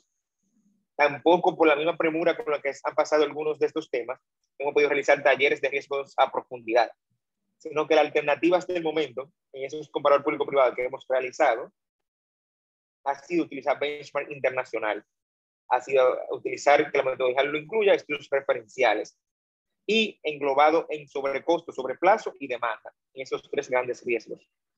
Al momento no hemos podido valorizar otros riesgos, sino que nos hemos, en, eh, nos hemos enfocado en esos tres grandes riesgos. Y un reto importante que yo creo que tenemos como región quizás o, o como país también utilizar es que esos estudios referenciales que estamos utilizando se, son citas de estudios de, de los 2002, 2007 de, de sobre costo principalmente, de infraestructura, que necesitan cierta actualización. O sea, yo creo que hay una, una agenda de investigación importante para, para proyectos que se puede llevar a cabo. El segundo, y no quiero pasarme del tiempo, voy a, voy a ser muy breve en esta última parte, el segundo tema importante es la claridad en esta etapa de la asignación del riesgo. De la asignación del riesgo, de cuánto se le transfiere al privado y cuánto retiene el público. Se hace de manera un poco arbitraria, porque en ese momento todavía yo no tengo tan claro cuánto es ese porcentaje. Si es 80-20, si 50-50, eso no lo conozco. O sea, yo puedo pensar que tú estás perdiendo el 80%, pero eso no se tiene en claridad porque yo no valoricé causa por causa. O sea, eso no es posible tenerlo con ese detalle, por lo que, digamos, se, se toma con cierta arbitrariedad. Y un último mensaje ya para finalizar mi intervención, que quiero dejar sobre la mesa, es que algo que nos dimos cuenta como, como país es que al momento que preparamos las metodologías, el marco normativo, pensamos en esos estudios como que ocurrían una sola vez en el tiempo, que nos entregaban los estudios eh, eh, técnicos y con eso íbamos a hacer sus estudios y ya. Y ya nos dimos, y por tanto la metodología incluye que ello ocurre una sola vez en el tiempo. Y el marco normativo, perdón, incluye eso. No obstante, ya en la práctica, y con el primer proyecto que ya tenemos en fase de factibilidad, ya nos hemos dado cuenta que el valor por dinero es una metodología viva, es un estudio vivo, que cada vez que tenemos insumos nuevos, como nos pasó ahora en esta etapa de factibilidad, debemos ir actualizando el mismo. Eh, y nada, eh, muchísimas gracias por, por el turno. Gracias, Jaime. Adilio, ¿cómo cree que beneficiará al Paraguay y a los países de la región este documento sobre el valor por dinero? Bueno, muchísimas gracias, Paulín, por la presentación, a todo el equipo del BID, a todos los colegas, a quienes considero amigos también, y a todos los participantes, varios amigos también entre ellos. Un, cordial saludo aquí desde Asunción. Bueno, yo creo que todo análisis sobre temas tan importantes como los instrumentos que hacen a los proyectos de APPs o PPPs son relevantes siempre. Y más todavía si presentan este grado de detalle y estos análisis de las experiencias de países de América Latina que van a encontrar en el documento. Ahora bien, como se estuvo indicando a lo largo de las presentaciones, el valor por dinero no cuenta con un consenso total, ni siquiera conceptual, digamos, como instrumento. Tiene varios enfoques y hay aspectos debatibles, como bien comentaba Javier, que ya dio los detalles del caso.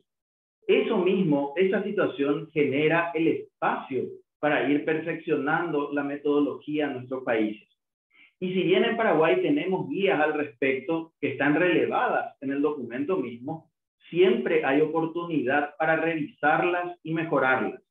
Y el documento brinda orientaciones importantes para enfocar estas revisiones y mejoras. Así que eh, celebro esta serie de documentos que están, está trabajando el BID, que está haciendo de manera colaborativa con tantos profesionales en la región y el mundo. Y yo creo que esto es súper relevante, como indicaba, para que tomando este análisis que hace el documento, podamos dar un vistazo nuevo, también sumando lo que decía Jaime, hay veces que no tenemos las cosas claras, etcétera. Entonces es siempre bueno hacer un refresh de lo que hay y estamos también, vamos a estar abocados a esa tarea en la Secretaría Técnica de Planificación para el Desarrollo Económico y Social de Paraguay para avanzar con esas mejoras. Muchísimas gracias nuevamente por el espacio. Gracias, Adilio. Shafik, de acuerdo con su experiencia, ¿qué tan relevante ha sido realizar análisis de costo-beneficio y del valor por dinero en los proyectos que has licitado El Salvador? Bien, eh, gracias. Buenos días a todos, buenas tardes. Eh, a ver, una de las facultades importantes que tiene poder hacer un Value for Money y un CBA antes, ex ante, de salir al mercado con una licitación, es que te da una noción muy, muy atinada. Claro, ahí depende mucho de la, de la calidad de los datos que tengas para poder hacer estos análisis. Nuestros insumos siempre vienen de prefactibilidades con, con mucha profundidad en datos con mucha profundidad en, costos y en estimaciones de demanda. Por ende, podemos tener una amplitud en el análisis. Eh, lo importante aquí, Pauline, es que te permite poder tener una diagramación muy clara de a dónde está la línea que no puedes cruzar y a dónde realmente está el enhancement del value for money y del cost benefit analysis. Eh, y desde esa óptica es que tú empiezas a escribir las bases de licitación y el contrato que va a relacionar a la sociedad de propósito especial y al administrador del contrato de la parte pública para poder hacer realidad esa, ese detonante de desarrollo que, que, te sirve el proyecto, para lo cual te sirve el proyecto. también te sirve muchísimo para poder estimar cuál va a ser el factor de adjudicación. Y hablando claramente con un ejemplo, el primer proyecto que es la licitación del Salvador, que fue un brownfield, que es el terminal de carga aéreo, hicimos un unbundle de, del aeropuerto de la terminal de pasajeros, solo nos concentramos con carga. Eh, nosotros descubrimos en el CBA que el proyecto era un detonante y un catalizador de aceleración de inventarios. Entonces nosotros lo que hicimos fue ponerle un factor de adjudicación en dos ponderantes a ese proyecto. Uno, qué tanto tú compartías ingresos con CEPA, que es la entidad contratante del Estado, porque el Value for Money, aunque, hubiera sido, aunque era autosostenible, estaba en función de generarle más caja a CEPA, porque lo necesitaba. Y la segunda parte era atribuirle un 60% de eh, valor de peso en la fórmula a qué tanto tú podías como sociedad de propósito especial bajar los costos de las tarifas hacia los usuarios, precisamente para poder detonar ese, esa, esa aceleración de inventario. Entonces, cuando lograbas ese balance de qué tanto compartes conmigo, pero qué tanto puedes bajar las tarifas, entonces no, no generabas esa, ese desbalance habitual que se da cuando le cargas todos los dados al canon y entonces eso va contra tarifas y va contra el valor que se le va a cobrar al usuario porque es más caro. Entonces ahí lo que hicimos nosotros fue autorregular y precisamente la forma que tuvimos para poderlo ver con claridad fue cuando empezamos a contrastar el Cost Benefit Analysis y el CBA, eh, que para mí son dos cuerpos complementarios. No, no, no puedes prescindir de alguno de los dos eh, para poder mostrar realmente cuál es el camino que vas a seguir. Y eso a nosotros nos, nos dejó bastante satisfechos porque eh, la oferta que vino fue una oferta muy buena que precisamente respetó y le dio un enhancement a, ese, a esos valores que nosotros queríamos eh, estimular directamente con esa transacción.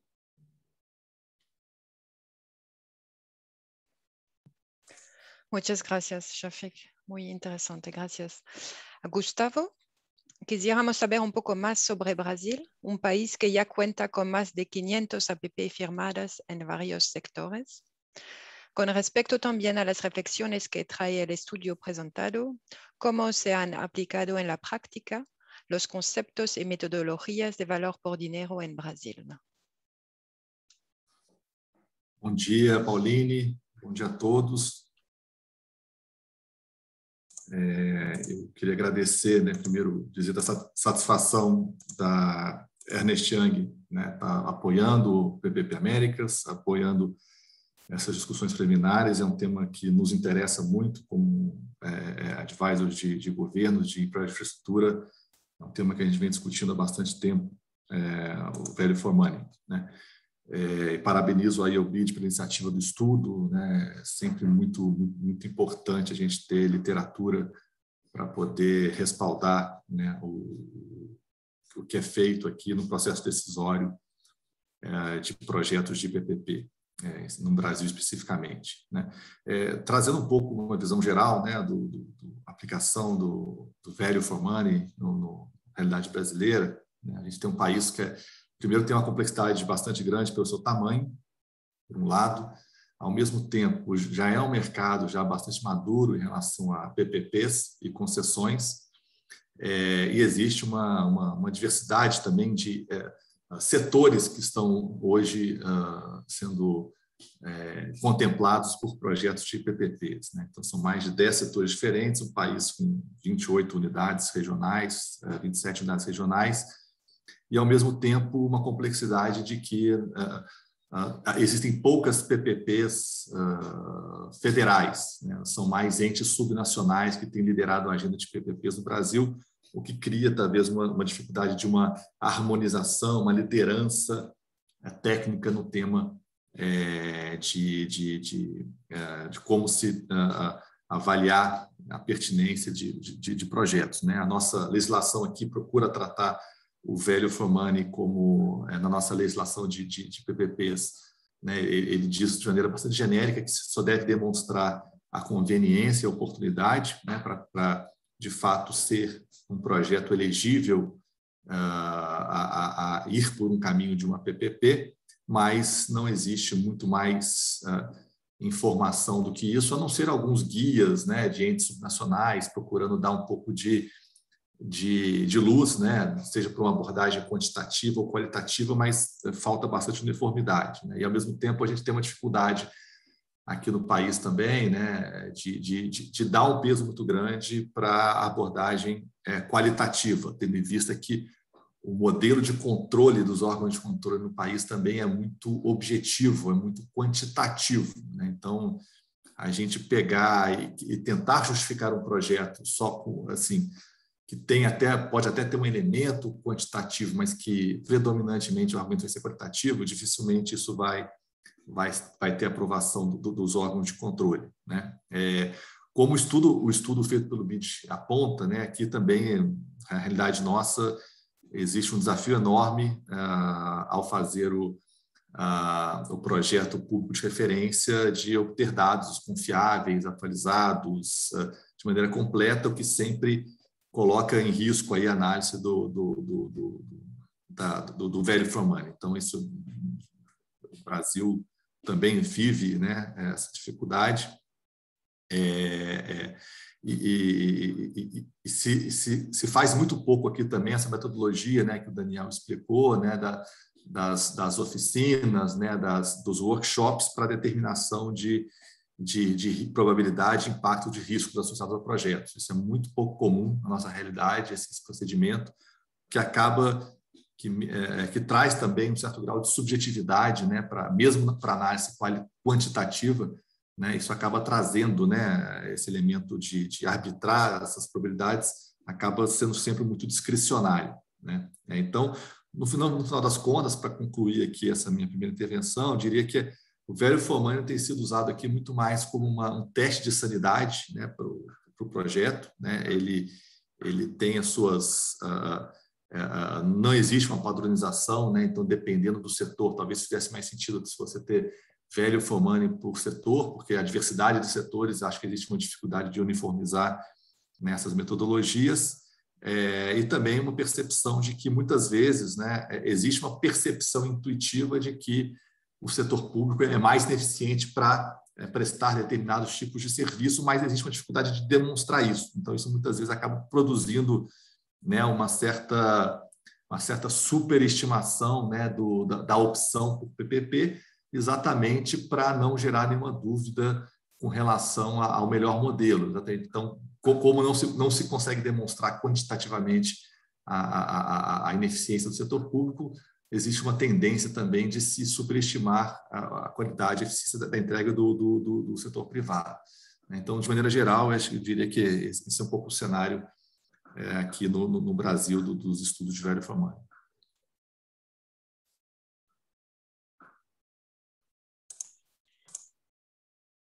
Obrigada, Gustavo. Ahora hacemos la, la, la, segunda ronda de preguntas y, y la última, ¿no? Uh, Jaime, ¿cuáles son las, los principales retos que han enfrentado al tener que implementar una gobernanza y un pipeline de APP en estos tiempos de incertidumbre por el COVID-19. Gracias, Paulín, nuevamente.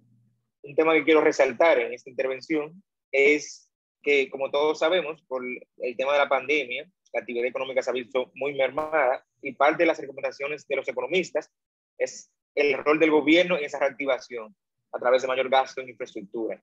Entonces, parte de la presión y de los retos que hemos tenido que enfrentar la comunidad de APP ha sido esa presión o esa, digamos, eh, mandato de sacar proyectos de APP en el menor tiempo posible. Pero ¿qué pasa? Una unidad nueva, pues no contamos con un pipeline de proyectos, o sea, todo estaba desde cero. Entonces, eso ha sido un reto importante y que esa misma situación de no, no tener, digamos, ningún proyecto estructurado nos ha llevado a un resultado que ha sido que, en un caso que yo sé que ha pasado en muchos países, que en esta etapa temprana hemos dependido mucho de las iniciativas privadas la mayor parte de los proyectos que hemos recibido son iniciativas privadas, porque, o las no solicitadas, como le llaman en algunos países. Porque esas propuestas no solicitadas, bueno, porque como sabemos, el sector privado tiene mucho mayor flexibilidad y capacidad de realizar estudios, importar conocimiento en APP de otros países, que para el gobierno eso es mucho más complicado. Entonces, en esta etapa temprana nosotros hemos recibido muchas propuestas no solicitadas, pero que yo las dividiría en dos tipos. Hay un tipo de esas propuestas no solicitadas que sí hay consenso, digamos, nacional, de que son obras prioritarias y que lo que hizo ese proyecto privado fue, digamos, agilizar esos estudios y presentarlos. Pero hay otros proyectos que sí se han presentado como iniciativas privadas que a pesar de que son de los sectores que se han identificado como prioritarios, porque en República Dominicana para que un proyecto se acepte como iniciativa privada tiene que identificarse como prioritario, son proyectos que quizás no estaban en, el, en, el, en la cabeza del hacedor de políticas públicas en este momento y han tenido que ser admitidos y evaluados eh, en ese momento. Otro reto importante, y no quiero pasarme el tiempo esta vez, es el tema del capacity building. Ustedes saben que una APP cuando nace enfrenta muchos retos de conocimiento tanto para estructurar proyectos como para entender ¿verdad? lo que son las APP.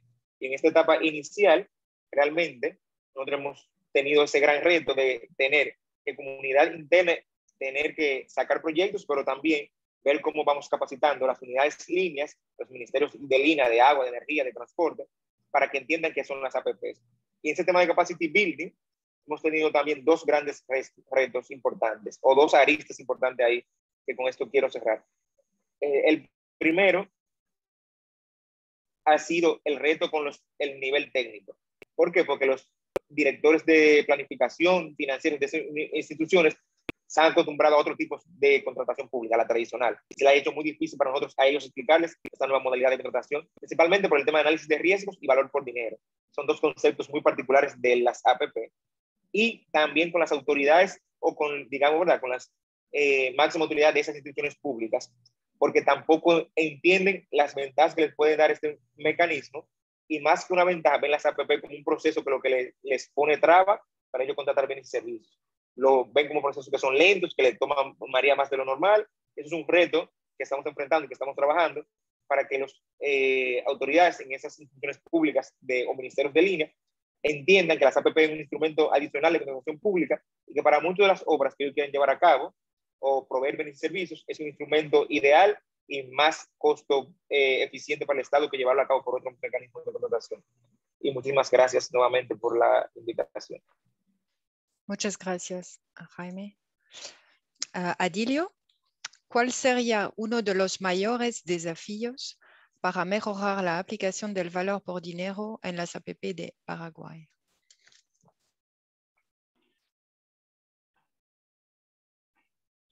Muchísimas gracias, Paulín, colegas. Bueno, eh, tomando un poco lo que expresa el mismo documento, indica que para el análisis de riesgos se, tiene que tener como base información de registros históricos, revisión de experiencia de otros países y en general investigaciones bibliográficas o documentales para determinar la probabilidad de ocurrencia y severidad de los riesgos para los proyectos. También indica que procesos, que, perdón, que en pocos sectores para estos proyectos existe información histórica sobre datos de retrasos, vale decir, sobre plazos o sobre costos de proyectos ejecutados mediante obra pública tradicional o APP misma. Y mientras que para el resto de los riesgos, como por ejemplo demandas, lo común es que no haya evidencia o registros históricos. Efectivamente, para Paraguay, tener información sistematizada es uno de los más grandes desafíos. No contamos con registros históricos de sobrecostos, sobre plazos, de demanda, etcétera. Entonces se van armando en la medida que se presentan los proyectos. Si bien ahora tenemos un documento sobre, eh, para sobrecostos y sobreplazos que lo trabajó el Ministerio de Hacienda con una cooperación técnica internacional y que será publicado en breve, eh, todavía es importante que toda esta información se vaya sistematizando de manera que a la hora de utilizar el, digamos, el proyecto público de referencia para el comparador público-privado, tengamos solidez en esos datos. Y tomando un poquito lo que decía Daniel al inicio, decía, hay que mantener la sencillez.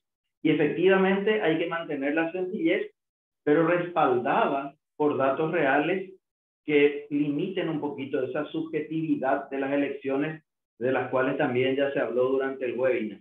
Yo creo que es importante entonces para Paraguay tomar el documento que tiene varios, eh, varias aristas interesantes, para ir ayudando a la sistematización de esa información, que no es un trabajo rápido, no es un trabajo barato tampoco, pero en la medida en que haya información relevante para la toma de decisiones y se limite esa subjetividad, entonces estaríamos ayudando a que la toma de decisiones para las APP sean mucho mejores y, y mucho más pertinentes. Muchísimas gracias. Muchas gracias, Adilio. Uh, Shafik, un poco conectado, conectando con la pregunta anterior, ¿qué uso cree que puede tener un análisis costo-beneficio y un análisis del valor por dinero en años posteriores para el proyecto, cuando éste se encuentra en etapa de explotación? Claro, gracias, Pauline. Bien, uno de los mayores usos que puede tener esto es el contraste eh, del equipo que fue el promotor de la estructuración del proyecto versus el equipo que va a administrarlo. Estoy hablando de equipos que vienen del sector público en ambos casos. Em, no es un misterio y ya se ha escrito en muchos papers, eh, principalmente en UK, eh, toda la evolución y contraste que ellos hacen principalmente de escuelas y hospitales cuando los proyectos son estructurados por APP, principalmente aquellos que llevan pago eh, por disponibilidad.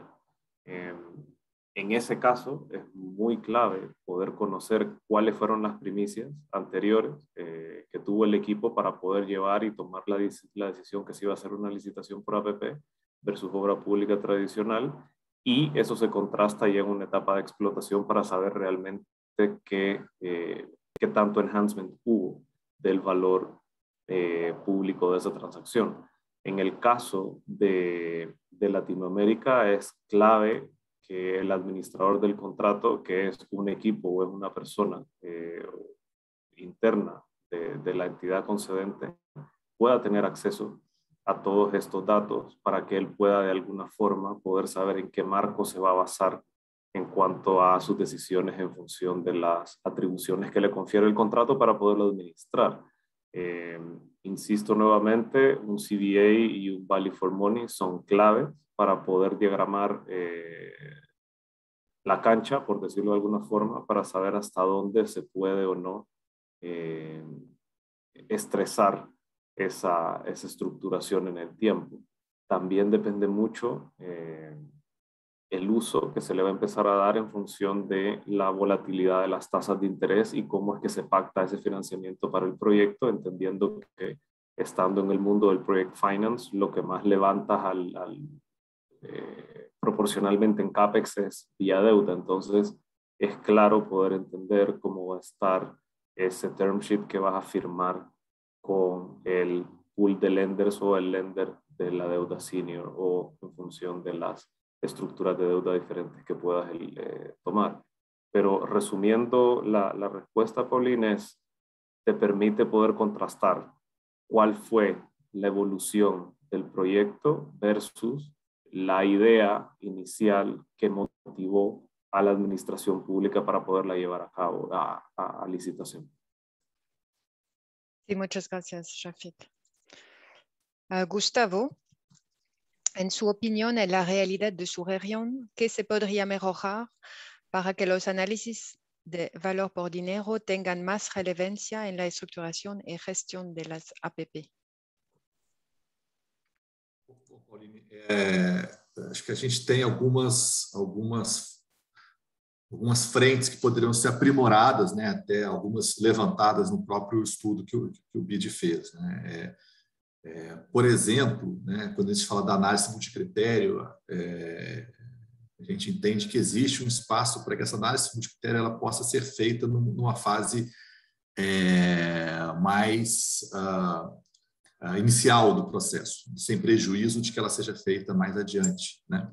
É, porque muitas vezes essa análise multicritério vai dar elementos que muitas vezes o gestor público que toma a decisão ele, ele, não, ele não toma conhecimento de certos fatores que muitas vezes já podem ser suficientes para é, descontinuar o projeto. E aí eu pego um exemplo muito, muito comum né, no, no nosso país, no Brasil, é, que são as garantias públicas dos projetos de PPPs. Né? Muitas vezes é, há uma dificuldade do poder público oferecer garantias né, contra eventual inadimplência uh, durante o projeto. Né? E, e, isso muitas vezes não é apontado de início, uma necessidade, né? ou quantificado né? essa necessidade de, de, de, de, de aporte de garantias, né? isso, isso só aparece né, no final, já no, no, final business case, ali no, no, no final da, dos estudos técnicos. Então, é, e aí muitas vezes o projeto morre porque o, o, o, o prefeito, o governador olha né, no, no, seu bolso, olha, não tenho garantias para dar, então se gastou né, tempo, dinheiro, esforço é, num processo que não, não é, já se sabia de partida que, que, que havia né, uma, uma, uma, uma forte dificuldade. Né? Então, a análise de critério talvez poderia ser incorporada de uma maneira mais preliminar. Né? A outra questão clássica, né, que se comenta muito, o próprio estudo aponta, é a melhoria da, da, da base de dados que é utilizada é, para fazer o, o, projeto público de referência. Né? É, ao mesmo tempo, né, a gente já sabe isso, né, os países que já estão fazendo PPP na América Latina há algum tempo, há mais de 15 anos já sabe que existe essa falta de dados, né? E ao mesmo tempo a gente não vê iniciativas de 15 anos para cá, né? Ou, ou, poucas iniciativas de buscar criar uma base especificamente para isso, né? Então a gente já poderia estar tá no nível mais avançado, né? Já que o problema já foi identificado há bastante tempo, né? Mas não, não, não se há propostas mais concretas com relação a isso, né? Um outro ponto também que poderia ser incorporado à realidade brasileira, já que é bastante usual nos, nos contratos PVP, existia a figura de um verificador independente né, para monitorar os KPIs, os indicadores de desempenho, ele também poderia, por que não, é, fazer uma avaliação periódica se o valor, o velho for money, o valor pelo dinheiro daquele projeto poderia, estaria sendo atingido ou não e avaliar né, durante a própria operação do projeto qual, qual é o grau, é, como, é, como é que isso modifica ao, ao, longo, ao longo do tempo. Né?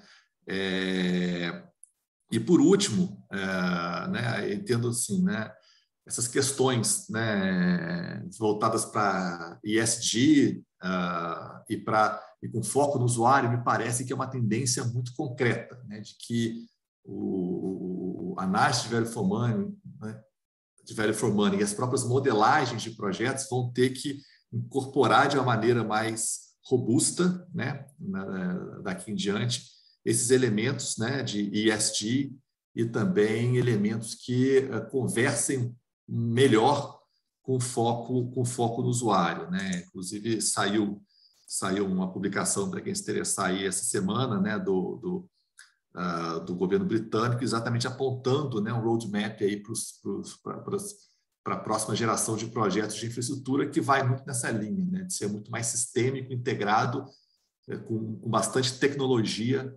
é, e voltado exatamente para poder uh, para poder se ter um, um, um, velho Famani mais voltado, né, e uma entrega de serviços mais voltada para o usuário de fato. Então, eu acho que são algumas algumas propostas aí que poderia uh, ajudar bastante o nosso mercado local. Mais uma vez agradeço a, a, o convite para o evento.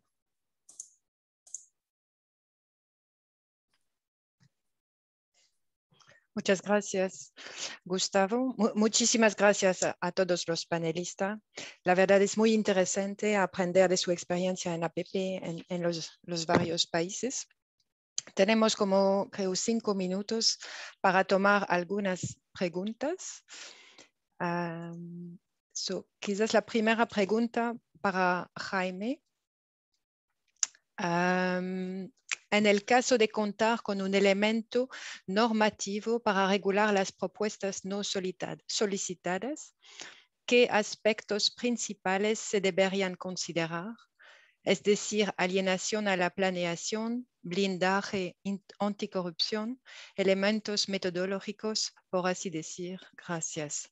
So, Jaime, si, quieres contarnos un poco de su experiencia en, la República Dominicana y si hay otros panelistas después que, quieren decir algo, eh, por favor. Gracias. Sí, gracias, Paulín. Bueno, Carlos, eh, gracias por la pregunta. Te puedo responder brevemente sobre el caso dominicano.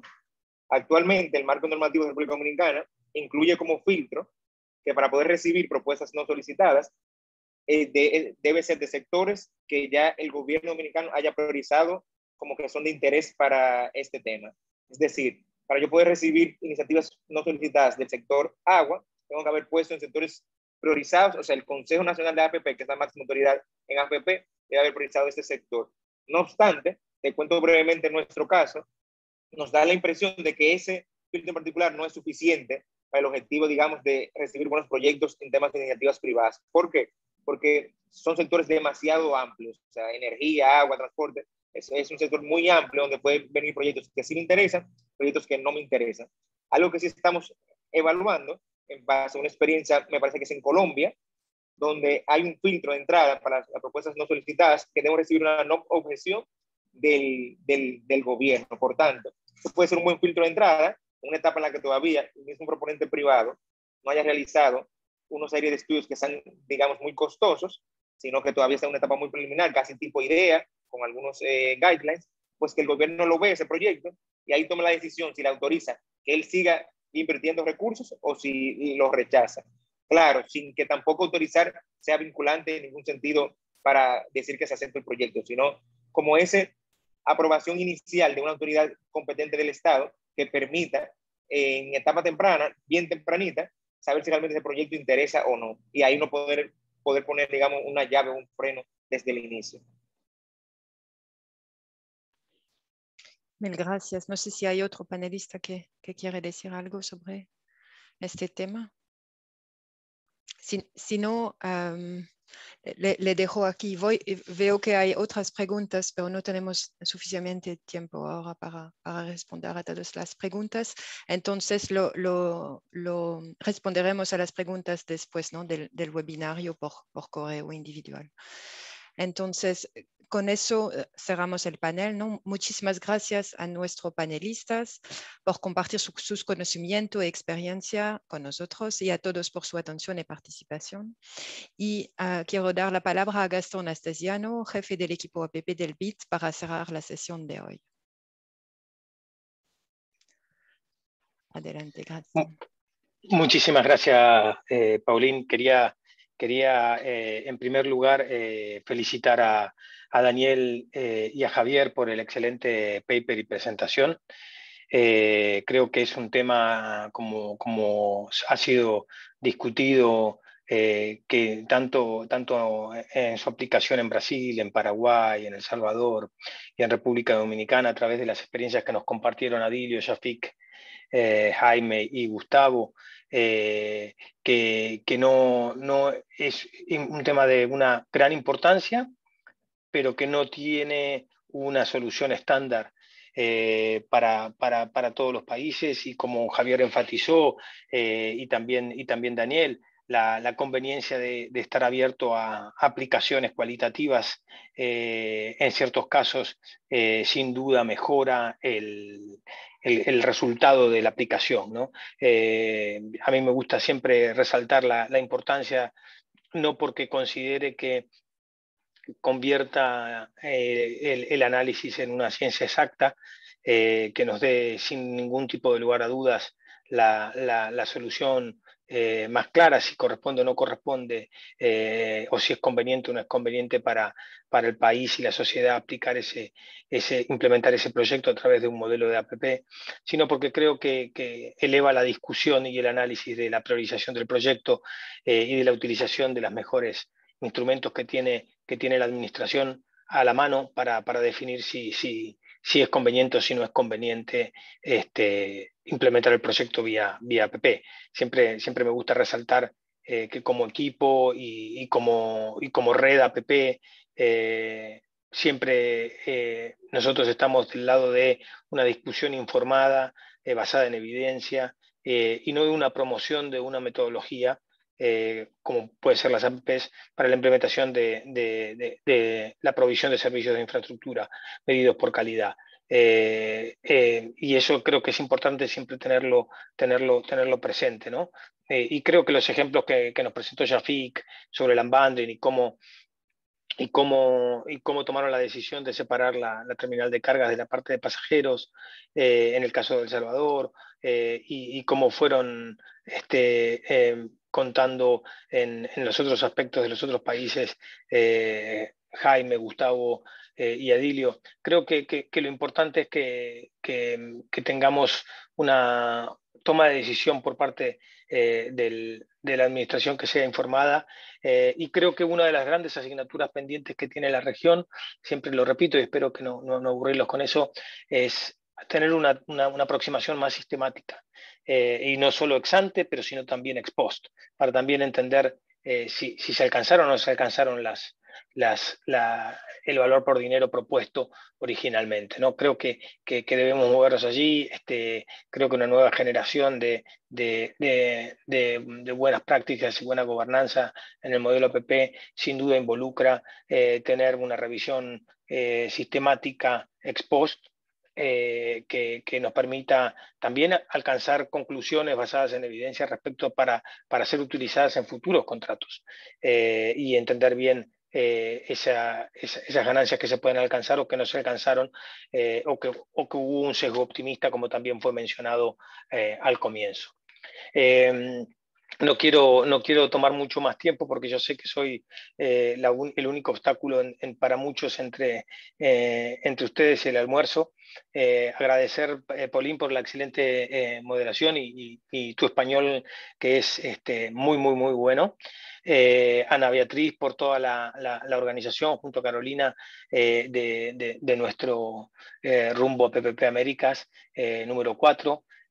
Saben que estamos, estamos efectuando PPP Américas en el estado de Sao Paulo 9 y 10 de diciembre. Eh, y tenemos mucha, mucha expectativa de poder encontrarlos e interactuar con ustedes virtual y presencialmente. Veremos qué tipo de, organización logramos, logramos hacer, qué situación sanitaria nos permita, nos permita este, implementar conjuntamente con, el, con el gobierno del Estado de San Pablo y nuestros socios estratégicos, el gobierno nacional federal de, de, Brasil y, la Unión Europea. Eh, agradecer a Iguay por, por, el apoyo para la realización de, este, de, este webinario.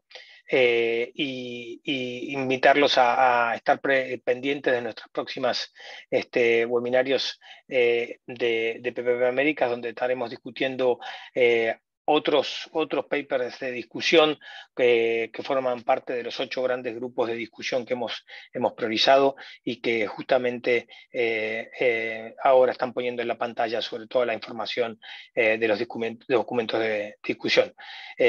paro por aquí. Les agradezco, les agradezco nuevamente a todos por la participación y por favor continúen participando, que como dijo, Fabiano al comienzo, eh, la gran importancia de, nuestro grupo es eh, las, economías o las externalidades de red. Eh, poder compartir experiencias este, y, compartirlas de una manera que, todos podamos este, aprender con las mismas. Paulín, muchísimas gracias. Gracias.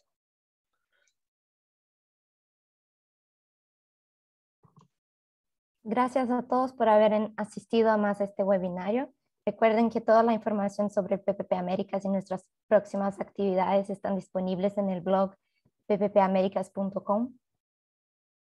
Y ahí estamos. Muchísimas gracias. Muchísimas gracias, Anabel. Saludos a todos.